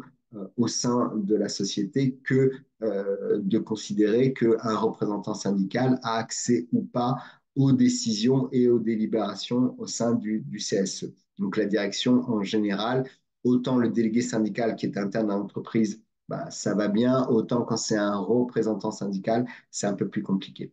Alors, ça, implique donc que pour pouvoir avoir un représentant syndical au CSE, le syndicat doit remplir les conditions pour désigner un délégué euh, syndical, c'est-à-dire qu'il doit être représentatif, avoir une section, donc cadre, non-cadre, ouvrier, euh, euh, agent de maîtrise, euh, etc. Donc, on doit euh, il doit être, le délégué syndical doit être fois représentatif, avoir une section syndicale, c'est-à-dire au moins deux adhérents dans l'entreprise. Ça veut dire que, par exemple, si moi je suis, euh, euh, je veux être euh, un représentant euh, syndical, mais que dans le collège cadre, j'ai un seul salarié, je ne pourrais pas avoir un représentant syndical qui soit du collège cadre. Donc, tout ça est un peu technique, mais c'est important en tout cas euh, de savoir qui est présent et où euh, de la même manière. Donc un petit mot pour saluer Mohamed euh, également. Et alors, tous les syndicats peuvent déléguer un représentant syndical, c'est une question qui m'est posée. Enfin, tous les syndicats inscrits au sens légal du terme. Donc, euh, vous savez qu'en en fait, euh, on ne peut pas euh, se déclarer être un syndicat comme ça. On doit être dans le cadre d'une déclaration dans laquelle le ministère du Travail liste l'ensemble des syndicats agréés tout simplement, non pas parce que ça plairait ou pas d'avoir tel ou tel syndicat, mais c'est simplement une question de critères d'éligibilité et de contrôle, évidemment, puisque les euh, syndicats ont un certain nombre de prérogatives, mais des devoirs euh, également en termes de représentativité. Est-ce que le syndicat a ce minimum de représentativité? Est-ce qu'il a euh, il est dans une action de transparence sur l'ensemble de ses comptes également? Il y a tout un tas d'éléments et donc un syndicat ne peut pas s'autodéclarer autrement que par euh, le recensement du ministère du Travail. Donc évidemment, que si nous, on a euh, ce sujet au sein d'une société, eh bien, il est facile de contrôler euh, sur le site du ministère du Travail si le syndicat est un syndicat déclaré ou si c'est un syndicat, entre guillemets, informel et à ce titre-là, euh, n'a pas ni la prérogative ni la capacité de pouvoir intervenir en termes de représentation syndicale. Alors, une question aussi extrêmement euh, pratique, pratico-pratique, c'est sur ces élections du CSE. Alors, vous savez que ces élections du CSE, il faut être vigilant, aussi bien si on est euh, dans le schéma de la direction que si on est sur le schéma euh, de l'expertise CSE. On doit absolument être sensible au fait qu'on respecte le calendrier des élections du CSE puisque, comme je vous l'ai dit, euh, on est à double enseigne concernée, soit en tant qu'expert du CSE, soit le président du CSE qui est l'employeur, donc la société est bien évidemment euh, en porte-à-faux vis-à-vis de l'inspection du travail s'ils n'ont pas organisé avec les élus euh, et correctement, au sens légal du terme, des élections au sein du, CSE. Donc, il arrive très souvent dans nos entreprises, dès qu'il y a 50 salariés, en tout cas, moi, c'est dans le cas de, mon portefeuille euh, expertise comptable, quand il y a plus de 50 salariés, eh bien, il n'y a pas systématiquement un CSE qui est désigné tout simplement par faute de candidat. Il y a plein de gens qui disent, voilà, moi, le CSE, on s'en prend un peu plein la tête, ça demande du travail au-delà de, de, des heures de délégation, ça demande de la mobilisation, ça nous met en porte-à-faux euh, vis-à-vis de la direction, ça va peut-être freiner euh, euh, mon ascension sociale, je ne sais pas. Donc, euh, il y a beaucoup de, préjugés, euh, à tort ou à raison. Et donc, le fait est qu'on se retrouve souvent avec des élections qui ne se réalisent pas par la direction. Pourquoi? Parce qu'en fait, ils disent bah, ça sert à rien, parce que son personne ne se présente, personne n'est jamais venu me dire qu'il souhaitait être élu du CSE. Et quand je pose la question à la cantonade, nous, on est 60 salariés, hein, on se connaît tous, tout le monde dit, oh là, moi, CSE, je m'en fiche, l'entreprise fait euh, un certain nombre d'actions euh, sociales euh, pour les fêtes de Noël, pour la fête des mères, pour la rentrée scolaire, etc. etc. Donc finalement, on n'en a pas vraiment besoin. Alors, euh, à ce titre-là, n'oublions pas que c'est à l'employeur que vient cette responsabilité. Et c'est ce qu'a précisé une décision récente euh, de mars 2024, euh, qui est de dire en cas de renouvellement ou en cas de d'élection visant à créer un CSE quand c'est la première fois, eh bien, on doit absolument, évidemment, c'est comme pour euh, les élections du personnel, euh, euh, rédiger un procès verbal de carence. Et là, à ce titre-là, quand il y avait un renouvellement du CSE, la croyance était que c'était le CSE historique qui devait rédiger un procès verbal, comme d'ailleurs c'est le cas dans beaucoup de, réunions du CSE, où tout simplement euh, c'est le secrétaire CSE qui est en charge de la rédaction des procès verbaux. Et à ce titre-là, l'employeur disait, bah, comme c'est au CSE de rédiger ce procès verbal-là, eh de la même manière, si on n'arrive pas euh, à, organiser si on organise plutôt euh, ces élections-là, mais que personne ne se présente, c'est aussi au CSE euh, historique de rédiger ce procès verbal de carence. Donc, quand ils ont un contrôle de l'inspection du travail, ils se déchargent en disant bah, c'est aux élus du CSE historique de dresser ce procès verbal. Alors, la réglementation a rappelé que c'est bien à l'employeur et uniquement à l'employeur, hein, pas de manière conjointe, euh, qu'incombe cette responsabilité. La rédaction du PV de carence, c'est un moyen euh, pour l'employeur de prouver officiellement qu'il a respecté ses obligations euh, et que l'absence de CSE ne peut ainsi lui être imputée. C'est très important en termes de responsabilité. Et nous, en tant qu'experts comptables, encore une fois, on, est bien sûr expert comptable des CSE dans certains cas, mais de la direction assez souvent, on doit le vérifier. Et le procès verbal de carence récemment établi n'empêche cependant pas l'employeur d'organiser de nouvelles élections. C'est-à-dire que si moi, par exemple, euh, j'ai constaté que personne ne se présentait en septembre 2023, rien ne va m'empêcher de euh, renouveler euh, cette, demande de, de, d'élection qui doit être organisée. Et à ce titre-là, on doit bien évidemment être en capacité euh, de pouvoir justifier que précédemment, quand c'était le calendrier légal, eh bien, on a été euh, euh, en capacité de, rédiger ce procès verbal de carence et de pouvoir le justifier si nous avons le moindre contrôle ou le moindre litige social ou avec, bien sûr, l'inspection du travail. Alors, un point qui est important, c'est malheureusement dans un climat économique qui est un petit peu compliqué, on va dire ça comme ça, c'est quel est le rôle du CSE dans un PSE. Alors, on a eu, euh, alors ça c'est une question qui est générale, mais on a eu un point euh, d'actualité récent sur ce point-là. Donc, le plan de sauvegarde d'emploi, ce qu'on appelle le PSE, ça vise bien évidemment à euh, présenter un, un, plan de licenciement collectif lié à un devoir de restructuration au sein de la société et on est bien sûr très souvent amené à être sollicité, que ce soit côté direction, mais aussi en termes d'expertise sur ce titre-là. Je rappelle que la nomination d'un expert dans un PSE n'est pas une obligation, c'est une prérogative euh, qui est dédiée aux élus du CSE. Donc le CSE peut être désigné dans ce cadre, peut désigner dans ce cadre-là un expert. Donc, il y a un process qui est euh, assez, euh, assez classique. Euh, le, CSE doit poser un certain nombre de questions à l'initial, hein, avant même de désigner un expert à la direction. la direction apporte un certain nombre de réponses. Et à la lecture de ces réponses-là, donc j'insiste, hein, ça ne se fait pas à la première réunion, je nomme un expert. On a voilà, il y, a, la phase zéro, hein, on l'appelle comme ça, euh, de, de, ce, de, cette, euh, de, de, ces échanges dans lesquels la direction dit ben, tiens, moi je vais être amené à euh, mettre en place certainement un PSE. Ce titre-là, c'est de se dire que on va euh, devoir donc euh, être en place dans le cadre d'un processus où, comme vous le savez, le PSE, c'est justifier aussi les raisons et les critères qui font qui, qui, nous amènent à licencier un certain nombre de fonctions. Donc évidemment, quand on parle de PSE, on ne va pas désigner Monsieur A ou Madame Y. On va expliquer pourquoi économiquement l'entreprise est amenée à mettre en place ce PSE.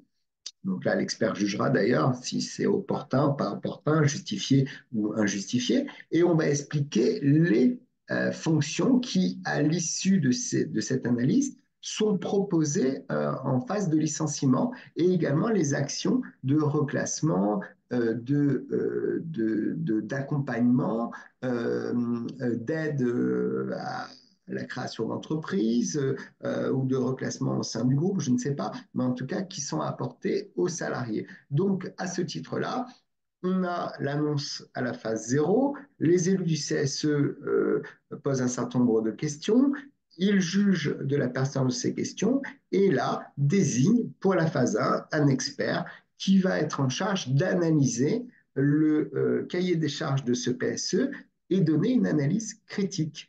Euh, alors évidemment, le but du jeu pour l'expert désigné, l'expert comptable, hein, bien sûr, euh, au sein de cette mission, c'est autant que faire se peut d'avoir une analyse intelligente pour pouvoir dire, bah, écoutez, moi, c'est des cas qui arrivent bien sûr assez souvent dès qu'on a expertise de personne. Non, mais écoutez, on ne comprend pas, parce que là, vous nous expliquez que vous voulez arrêter telle activité parce que telle activité est déficitaire, donc vous licenciez telle personne, telle personne qui, telle fonction, pas telle personne au sens nominal, euh, nominatif, pardon, vous voulez euh, supprimer telle ou telle fonction, on comprend, mais là, par exemple, ce, ce euh, comptable qui s'occupe du recouvrement, lui, bah, il occupe 10% de son temps dans cette activité, et 90% de son temps, il fait du recouvrement sur les autres business units, sur les autres activités que vous ne supprimez pas. Donc, l'expert, dans son rapport, va essayer d'expliquer pourquoi, dans certains cas, ça n'a pas de sens, pourquoi ça n'est pas cohérent, pourquoi est-ce que euh, euh, supprimer, par exemple, aussi cette activité, dans, certains cas,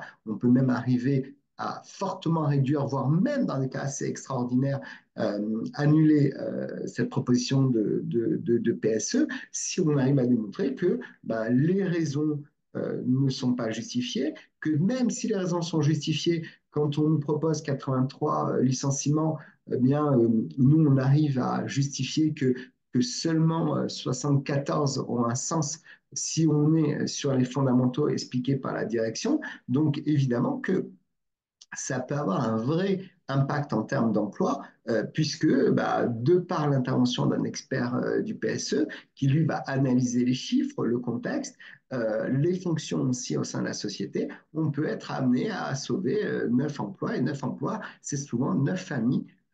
donc c'est autant que faire se peut, bien évidemment, parce qu'on on sera à l'écoute de, toutes les raisons qui sont amenés à mettre en place ce PSE. Peut-être que le PSE est justifié, peut-être que l'expert va dire oui, effectivement, je comprends, on est très déficitaire et euh, évidemment, on ne veut pas s'opposer coûte que coûte forcément des licenciements, puisque dans certains cas, eh bien, licencier 5 personnes, ça peut être préserver euh, 40 personnes en face et ne pas amener euh, 50 personnes à l'abattoir euh, un an après. Euh, il est des fois opportun euh, et productif de dire on pense que c'est intelligent de licencier ces 5 personnes-là, même si ça fait bien sûr toujours de la peine, mais en tout cas, l'expert ne va pas coûte que coûte, quoi qu'il advienne, se poser à des licenciements, il va s'assurer qu'il y a une certaine logique. Et là, à ce titre-là, eh on a souvent des missions d'expertise euh, dans le cadre du, PSE. Et notre objectif, bien sûr, c'est de déposer un rapport qui, à la lumière des échanges, euh, du cahier des charges, euh, de l'analyse fonctionnelle, va nous permettre de pouvoir déposer un rapport qui va peut-être euh, soit valider ou invalider ou invalider partiellement telle ou telle action et dire par exemple ben, pour la sauvegarde de l'emploi, euh, nous on estime que ben oui effectivement euh, telle et telle fonction euh, doivent être supprimées, mais si j'analyse l'activité qui reste rentable, eh ben, on a un plan de recrutement prévu euh, sous six mois de trois personnes et il serait beaucoup plus opportun euh, de pouvoir, euh, après un, programme de, un plan de formation établi, migrer ces personnes-là de ce département à tel autre département et ainsi préserver l'emploi et amener les gens vers cette unité qui, elle, reste lucrative pour la société. Donc cette notion de sauvegarde d'emploi, ça ne veut pas vouloir dire systématiquement, et quoi qu'il advienne, on va euh, lutter systématiquement contre tous les licenciements, mais le faire de manière évidemment intelligente, c'est ce qu'on nous demande, et intègre euh, et en pleine conscience, évidemment, euh, de, d'apporter des préconisations qui sont productives et utiles dans l'intérêt de la société, mais de l'ensemble des salariés. Et dans certains cas, n'oublions pas, parce que des fois, on a tendance à l'oublier, on a un expert PSE côté CSE, mais on a aussi des experts CSE côté direction. Et nous aussi, de la même manière, moi, je vois des fois, on a des sujets sur des CT où on a des PSE et on a des fois des directions qui me disent, euh, ben Gilles, euh, euh, le CSE va avoir son expert. Moi, j'ai pas envie d'être au frontal sur un sujet d'échange avec l'expert du PSE. Toi, c'est une consoeur, c'est un confrère à toi. On te désigne euh, comme euh, euh, l'expert de la direction. Dans les deux cas, on est payé par l'employeur et on peut échanger de manière confraternelle, mais utile et productive avec les consoeurs et confrères pour dire, bah non, là j'ai vu votre projet de rapport, ce qu'on présente le projet de rapport, je comprends ce point-là et celui-là, mais là, sur ce point-là, je ne suis pas tout à fait d'accord parce que vous oubliez peut-être, ou peut-être que ce n'est pas votre connaissance, que ce plan de formation serait trop complexe et trop coûteux à mettre en place, parce que ce plan de formation, c'est six mois et que notre plan de recrutement de nouvelles personnes dans le département qui reste économiquement viable, c'est sous les deux mois qui viennent.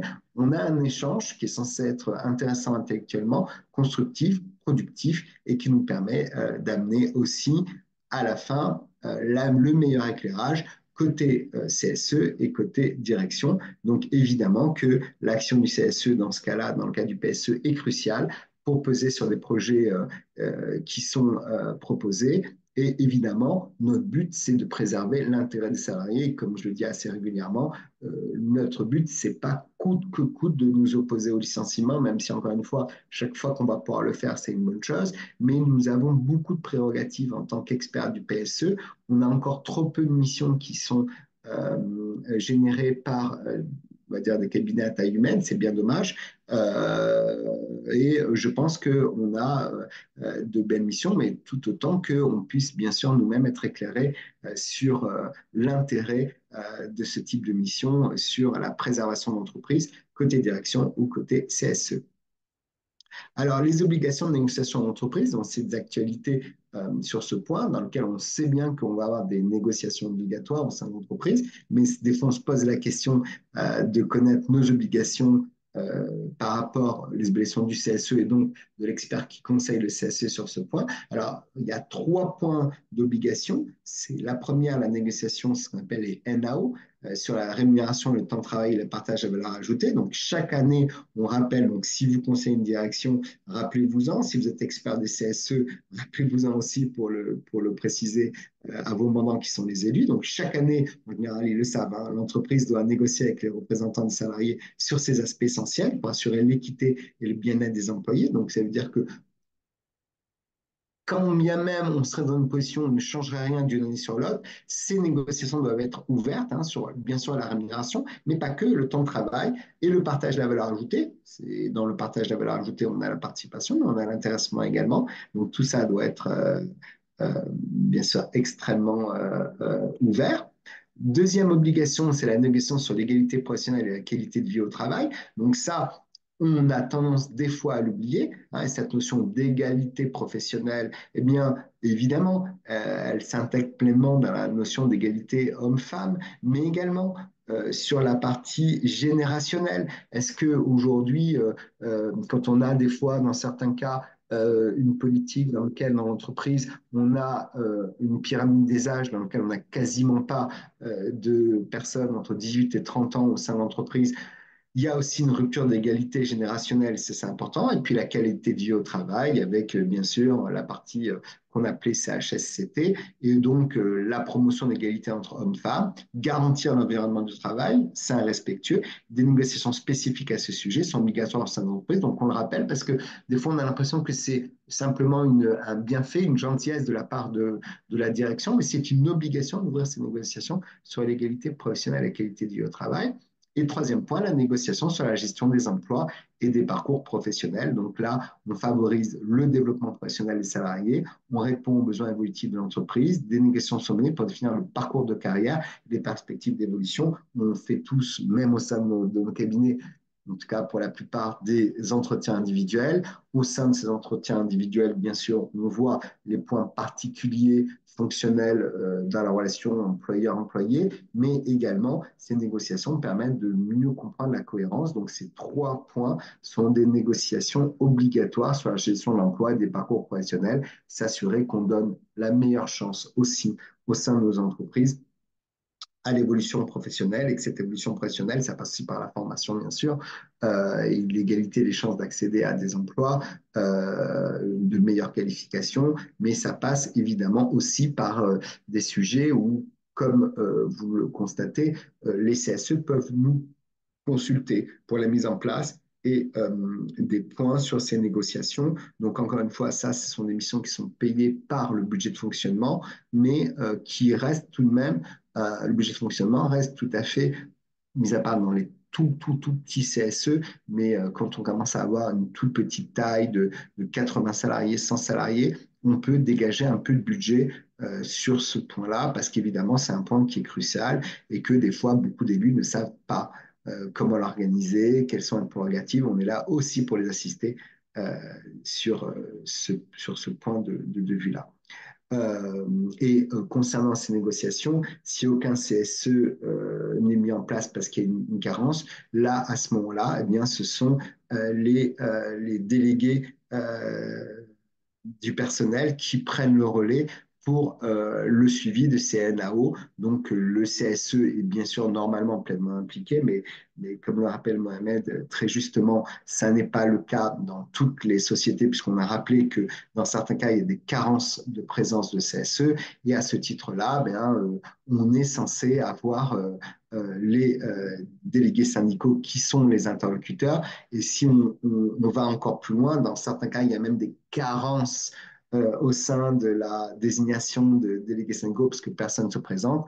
Et là, on est censé avoir, selon le droit du travail, une discussion collective euh, directement entre l'employeur, la direction donc, et les euh, salariés. Bon, évidemment, c'est très complexe puisque euh, ça veut dire qu'on a 50, 60, 70 interlocuteurs. On fait des réunions euh, dans lesquelles euh, on va présenter un certain nombre de propositions et on a des votes qui sont, qui sont établis. Donc, tout ça rend les choses extrêmement complexes. Mais si on n'a pas de CSE, en général, dans la plupart des cas, il y a au moins un délégué syndical qui va prendre en main, ou plusieurs d'ailleurs, cet échange et qui va négocier avec la direction. Alors, euh, un point de 2024 également, euh, avec euh, cette notion de mobilité, avec cette notion dans la période post-Covid, qui a été de dire finalement, on a peut-être besoin de, locaux qui sont des locaux plus petits en taille, ou alors au contraire, qui vont être moins coûteux à l'extérieur de la ville. Donc, je vais déménager mes locaux et là, jusqu'à maintenant, c'était un sujet qui ne concernait pas directement euh, le euh, CSE. Et là, à ce titre-là, euh, la jurisprudence a parlé en disant que on ne peut pas transférer son siège, ses locaux, sans avoir consulté. Alors, je dis bien consulter le CSE, ça ne veut pas dire qu'on peut s'y opposer, mais ça veut dire qu'on aura mis le projet sur la table au sein d'une réunion du CSE.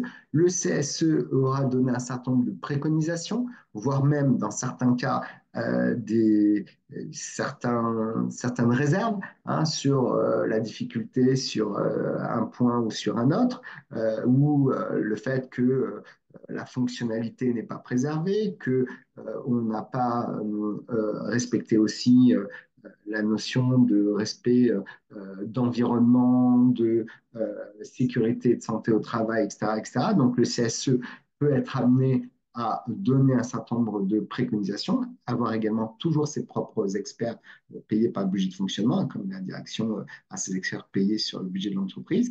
Et à ce titre-là, euh, évidemment, l'employeur est censé intégrer ces préconisations ou ces points euh, de réserve ou de restriction, ou même d'opposition dans certains cas, mais euh, la loi ne prévoit pas que ça puisse être bloquant dans le process, mais tout de même, euh, le simple fait d'avoir à en débattre et de rédiger un certain nombre de points euh, de présentation et de recevoir les commentaires des élus du CSE, ça oblige tout de même l'entreprise à tenir compte d'un certain nombre euh, d'avis et de positions qui sont euh, justifiés par les élus du CSE. Alors, un point qui est important aussi, c'est cette notion euh, de, moyens mis à disposition pour les élus du CSE. On a beaucoup euh, de points dans lequel bah, les employeurs, bah, ils s'en fichent un peu du CSE, euh, puis ils disent, bon, bah, ils se réuniront euh, dans la salle de réunion ou dans la cuisine d'entreprise ou on va leur mettre à disposition un bureau libre tel jour ou telle heure en fonction de leur demande. Et évidemment, le, le Conseil prud'homal euh, et la Cour d'appel a rappelé que ça ne marche pas comme ça. Et dire que euh, l'employeur n'est pas libre de choisir déjà lui-même l'emplacement du local du CSE euh, dans une espèce de, de, de petite cabane à l'extérieur complètement délabrée, ou alors il ne peut pas, euh, parce que des fois, bah, il n'aura pas eu euh, envie de faire euh, plaisir ou par mesure presque des fois de rétorsion. Il va dire, bah voilà, je vous avais mis des, locaux un peu sympas, mais là, ça ne se passe pas bien avec le CSE. Ben là, je vais te donner le local au fond, à côté du local à poubelle, et sois content déjà d'avoir ça. Alors là, évidemment, la géotence a dit, bah non, c'est pas possible. Donc, l'employeur a l'obligation de mettre un local aménagé à la disposition du comité social d'entreprise. Donc, évidemment, évidemment que euh, de facto, c'est euh, un local qui doit être fermé, qui doit, être, euh, qui doit respecter la confidentialité également de la documentation ou des échanges. Hein. Ça peut être dans un, espace commun de l'entreprise. Le choix du local relève du pouvoir de l'employeur, mais il ne peut pas non plus choisir n'importe quel local. Ce local doit permettre effectivement au comité d'exercer ses fonctions, c'est-à-dire que si on n'est pas dans un local privé eh bien, légalement, on a déjà une infraction. Euh, et puis, on ne, on ne, peut donc pas mettre à disposition une salle de conférence quand elle sera libre ou encore une salle de réfectoire. Alors, je dis ça, ça peut paraître le bon sens, mais s'il y a une actualité de 2004 sur le sujet, c'est bien que dans beaucoup d'entreprises, on considère qu'avoir un local pour un CSE, c'est une perte de place, c'est un coût. Il faut installer un bureau, le fermer, le dédier au CSE. Ils y viennent qu'une fois de temps en temps. C'est pas bien méchant. On va leur euh, donner accès à un bureau euh, là ou là quand ça sera libre, une salle de conférence. Ben, ça marche pas comme ça.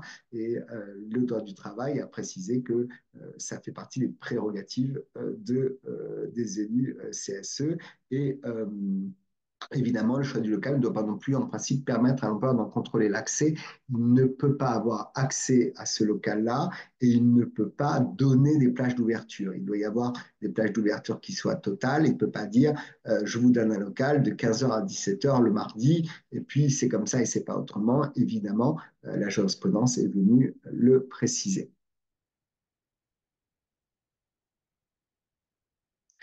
Alors, souvent, on nous sollicite pour dire bah, comment ça se passe, euh, évidemment, dans les activités sociales et culturelles? Moi, je veux faire des soirées pour les salariés, euh, euh, pour leur faire plaisir. Euh, est-ce que je peux le faire? Bon, évidemment, j'ai bien compris qu'il y a des événements spéciaux comme les naissances, les mariages, euh, les fêtes des mères, des pères.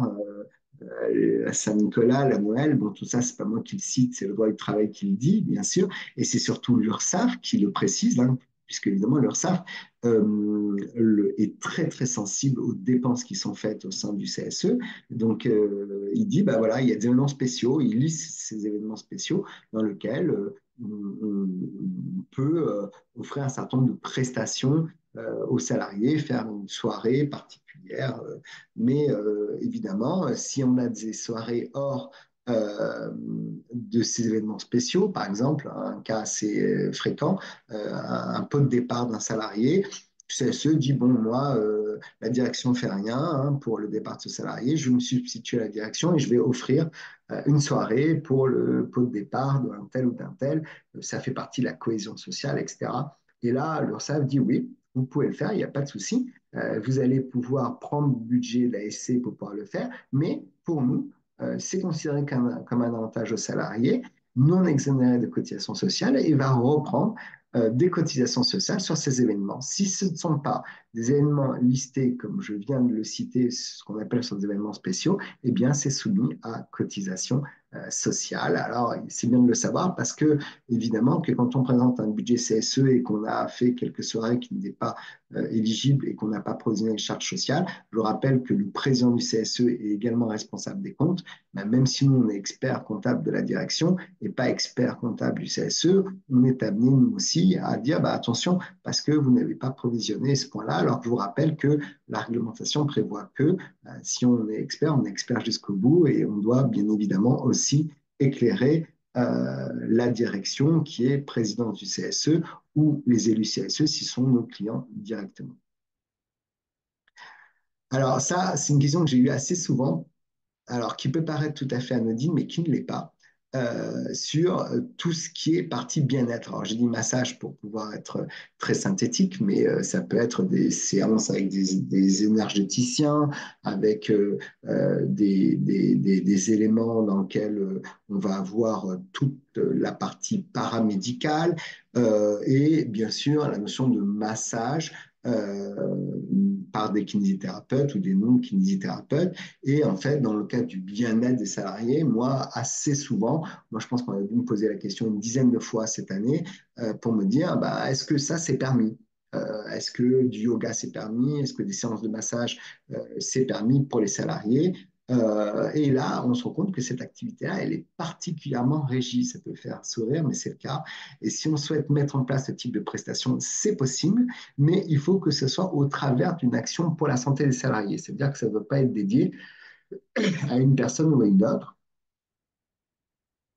mais dans le cadre d'une politique globale visant à améliorer, par exemple, des salariés qui sont régulièrement devant leur ordinateur, hein, comme nous, pauvres euh, euh, consoeurs et confrères, euh, on est souvent devant notre ordinateur, on a des petits soucis au lombaire, au cervical, et on se dit, bah, quand même, tous nos salariés qui sont dans les ordinateurs, ils ont une mauvaise posture, ils sont euh, fatigués à la fin de la journée, ils ont des, douleurs et des tensions musculaires.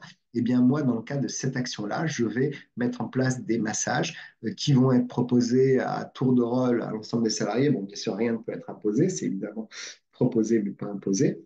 Et, euh, ça doit être évidemment de manière exceptionnelle. On ne peut pas organiser toutes les semaines euh, des massages. Alors, il y a beaucoup de, de start-up hein, euh, qu'on connaît, qui, ou même de cabinets d'expertise comptable qui sont euh, up-to-date et qui disent, bah, nous, chez nous, euh, pour faire aussi, euh, pour donner la meilleure image du cabinet et favoriser l'attractivité, je salue d'ailleurs s'il y a quelques consorts et confrères élus de la commission d'attractivité qui, qui disent, bah ouais, mais moi, chez moi, euh, une fois par mois ou une fois tous les 15 jours, il y a une, euh, un masseur, une masseuse qui vient et qui euh, va masser les lombaires, les cervicales, avec une table de massage souvent en verticale. Hein, Ce n'est pas le massage à la version thaïlandaise ou balinaise, même si ça peut décevoir quelques consoeurs et confrères. Et donc, à ce titre-là, on, on, met en place des actions régulières. Et ça, c'est particulièrement interdit, bien évidemment.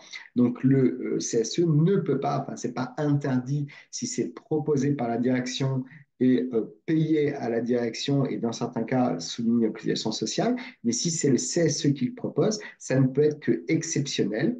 Euh, surtout si ce sont des, des, séances qui, sont complètement financées par le CSE, hein, euh, et ça ne doit être que dans le cadre d'événements euh, spéciaux ou évidemment de manière très sporadique. La pratique la plus usuelle chez le CSE reste souvent de cofinancer certaines actions. Donc voilà, nous, on va euh, donner des coupons qui vont prendre en charge euh, 10%, 20%, 25% de, de chez tel ou tel réseau de, de, de, praticiens. On a un accord avec un, avec un, avec un spa, avec un, avec des, ostéopathes, des kinésithérapeutes.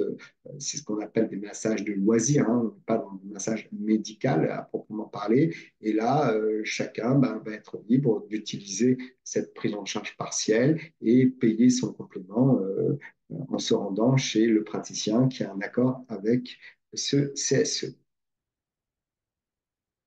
Une question qui revient aussi assez souvent, parce que ça, a été précisé il y a peu de temps sur cette notion d'audit du CSE. Alors, vous savez que la notion d'audit du CSE, c'est quelque chose qui n'est pas nouveau. Hein. Donc, euh, d'ailleurs, la réglementation accélère les obligations de nomination d'un commissaire au compte en fonction de certains critères.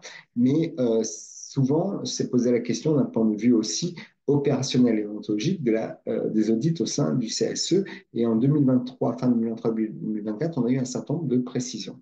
Bah, à quoi sert déjà l'audit d'un CSE bah, On se rend compte que malheureusement, et ça, je me rends compte même moi à titre personnel, il y a énormément de fraude euh, au sein des CSE. Alors, quand je dis énormément, euh, c'est pas tous les jours, c'est pas tous les CSE et tout le monde n'est pas malhonnête, mais tout simplement pourquoi? Parce que euh, c'est pas que les élus du CSE sont plus à risque que n'importe quel salarié au sein d'une société, c'est qu'en fait, il n'y a souvent pas de euh, plan de contrôle, de procédure de contrôle interne, comme on dit euh, en expertise comptable ou en commissariat en compte, qui fait que très souvent, le secrétaire du CSE ou le trésorier, il a la capacité et de commander, entre guillemets, des prestations et euh, d'être l'émetteur du règlement. Alors évidemment que la tendance, euh, bah, elle est plus facile pour les quelques-uns qui ne sont pas honnêtes, ça arrive euh, n'importe où euh, et quelles que soient les situations, ben, euh, d'être amené, d'aller prendre des prestations chez un membre de sa famille ou un de ses amis, que la prestation soit réalisée ou pas, de payer des factures à des entreprises, à des micro-entreprises qui sont créées par,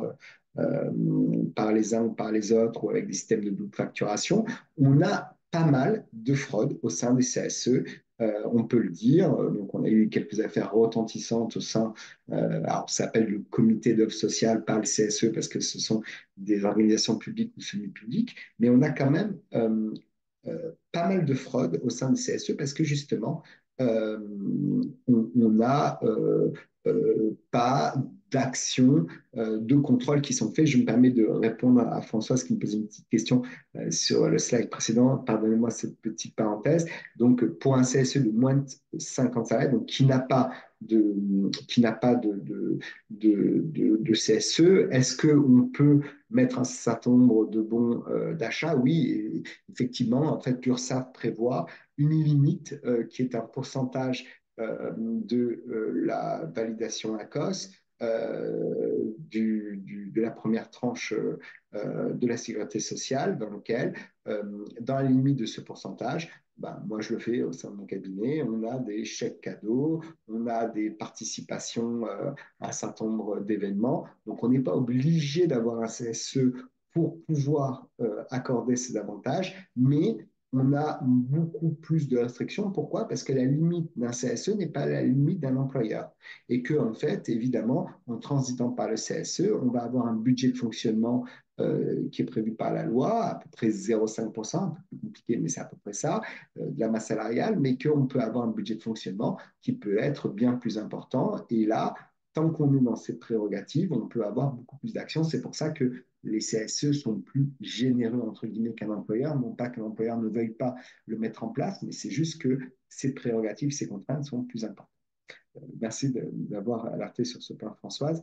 Concernant le point sur le, le dit du CSE, euh, évidemment que euh, l'intérêt, c'est quoi? Bah, Évidemment, c'est de valider euh, la comptabilité du CSE. Est-ce qu'on respecte bien la séparation entre fonctionnement et SC, euh, dire, bah, comme on vient de l'évoquer euh, là, euh, est-ce qu'on est dans le cadre des cotisations sociales euh, exonéré dans le cadre des cotisations sociales URSAF ou pas?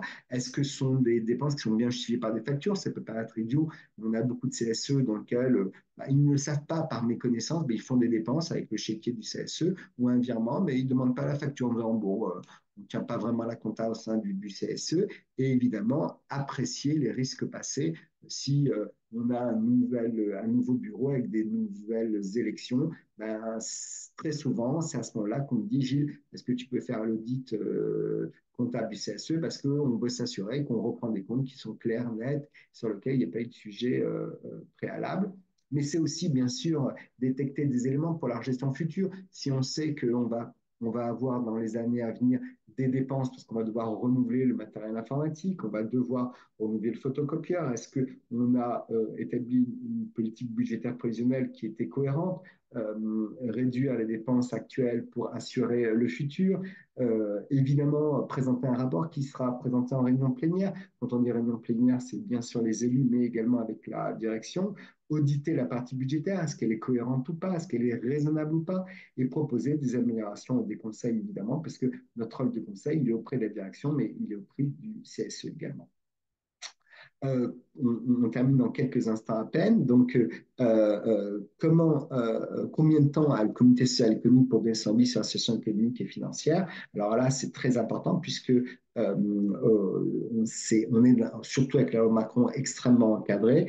À défaut d'accord, le CSE dispose d'un mois pour formuler un avis motivé sur la situation économique et financière présentée par, la société. Donc, euh, euh, si le CSE ne respecte pas ce délai, c'est pas compliqué. La jurisprudence récente dit, ben non, on estime que s'il n'a pas respecté le délai, le CSE a, été réputé consulté et le CSE est réputé ne pas avoir eu euh, de, d'objections, de, de restrictions, de réserves sur cette situation économique et financière. Donc, encore une fois, cette notion de délai est très, très encadrée et euh, on est là aussi euh, pour le faire respecter. La question d'Astrid de, sur un point, euh, excusez-moi, on fait un petit peu des, des allers-retours, mais on est là aussi pour répondre aux questions. Concernant les événements qui ne sont pas des événements spéciaux, comment les soumettre à charge sociale eh ben, Ce n'est pas compliqué. On doit faire un bordereau euh, dans lequel, au lieu de mettre de la masse salariale, on va mettre le budget qui n'est pas soumis à exonération de cotisation sociale, comme si en fait on déclarait de la masse salariale soumise à cotisation euh, sociale. Donc, c'est des cotisations sociales non pas de la direction, mais du CSE. Hein. Rappelle que le CSE et doit avoir euh, euh, un numéro de cotisant URSAF et donc c'est le CSE en tant que tel qui déclare euh, ses charges sociales. Donc je, je, reviens sur, merci pour cette question Astrid, sur ce point-là. Donc sur la situation économique et financière, le CSE est consulté. Souvent, vous l'avez compris, il est accompagné d'un expert et on doit absolument respecter ce délai d'un mois entre le moment où on nous remet les documents et le moment où on donne notre avis. Rupture conventionnelle ou licenciement économique, on a souvent des sujets en tant qu'expert et la jurisprudence est venue rappeler le rôle de l'expert sur cette notion d'arbitrage entre rupture conventionnelle et licenciement économique. Évidemment, je ne vais pas vous faire l'offense de vous rappeler les avantages et les inconvénients de la rupture euh, conventionnelle. Euh, on est des professionnels, nous le savons, mais évidemment, le point, c'est euh, de pouvoir euh, euh, délimiter euh, cette notion-là. Et souvent les élus de CSE ne sont pas en capacité de pouvoir venir nous dire ben, si c'est clairement raisonnable ou pas de considérer si l'employeur est bien en phase d'une mise en place du licenciement économique ou d'une rupture conventionnelle. Et donc, à ce titre-là, là, la jurisprudence a rappelé que le CSE peut être consulté pour donner un avis, une, une consultation euh, sur ce point.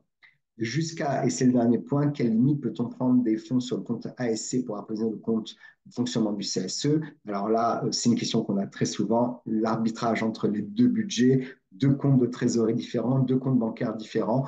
Euh, avant la loi Macron, c'était stricto sensu, un centime d'un budget de fonctionnement ne pouvait pas aller dans la partie ASC et inversement, la loi Macron euh, est venue euh, préciser qu'il n'y a pas de limite pour transférer des fonds des comptes ASC pour approvisionner le compte de fonctionnement mais pourquoi est-ce que la chose pense à repréciser ce point-là, notamment avec la mise en responsabilité d'un confrère en l'occurrence, c'est que le contraire, contrairement à ce que euh, on a beaucoup d'idées reçues qui sont véhiculées, le contraire est formellement interdit. Il n'est pas possible d'alimenter euh, des, des, comptes de fonctionnement vers l'ASC. L'inverse est formellement interdit. La loi ne permet pas de transférer des des, fonds du compte de fonctionnement vers le compte de, euh, des ASC, tout simplement parce que, évidemment, on doit garder un minimum de budget de fonctionnement pour nous assurer que le, la partie ASC euh,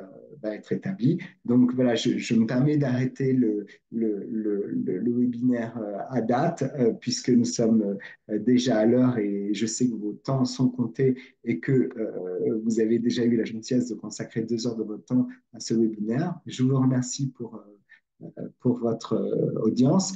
Euh, Lucie, que je remercie grandement, euh, qui est notre chargée de communication, qui est une permanente du Conseil de l'ordre et qui fait en sorte que toutes nos actions se passent avec toujours beaucoup de précision et d'organisation, eh bien, je, je, la remercie grandement de nous avoir assisté sur la mise en place de ce webinaire. Ce support sera bien sûr disponible pour l'ensemble des participants. Ça permettra d'avoir une petite revue. Je vous remercie et si vous avez terminé votre campagne fiscale et que vous n'êtes pas encore sous l'emprise de l'audit et des commissariats compte, pensez à euh, la mise en place à la rentrée septembre du développement euh, de vos missions CSE. Et bien évidemment, si vous avez des questions en dehors de ce webinaire, eh bien la commission est présente également euh, pour répondre à vos questions ponctuelles qu'il peut y avoir sur telle ou telle problématique. Hein. Les commissions, ce n'est pas que pour les formations, euh, c'est aussi pour répondre aux questions des consoeurs et des confrères. On est toujours avec grand plaisir à votre disposition. Je suis à votre disposition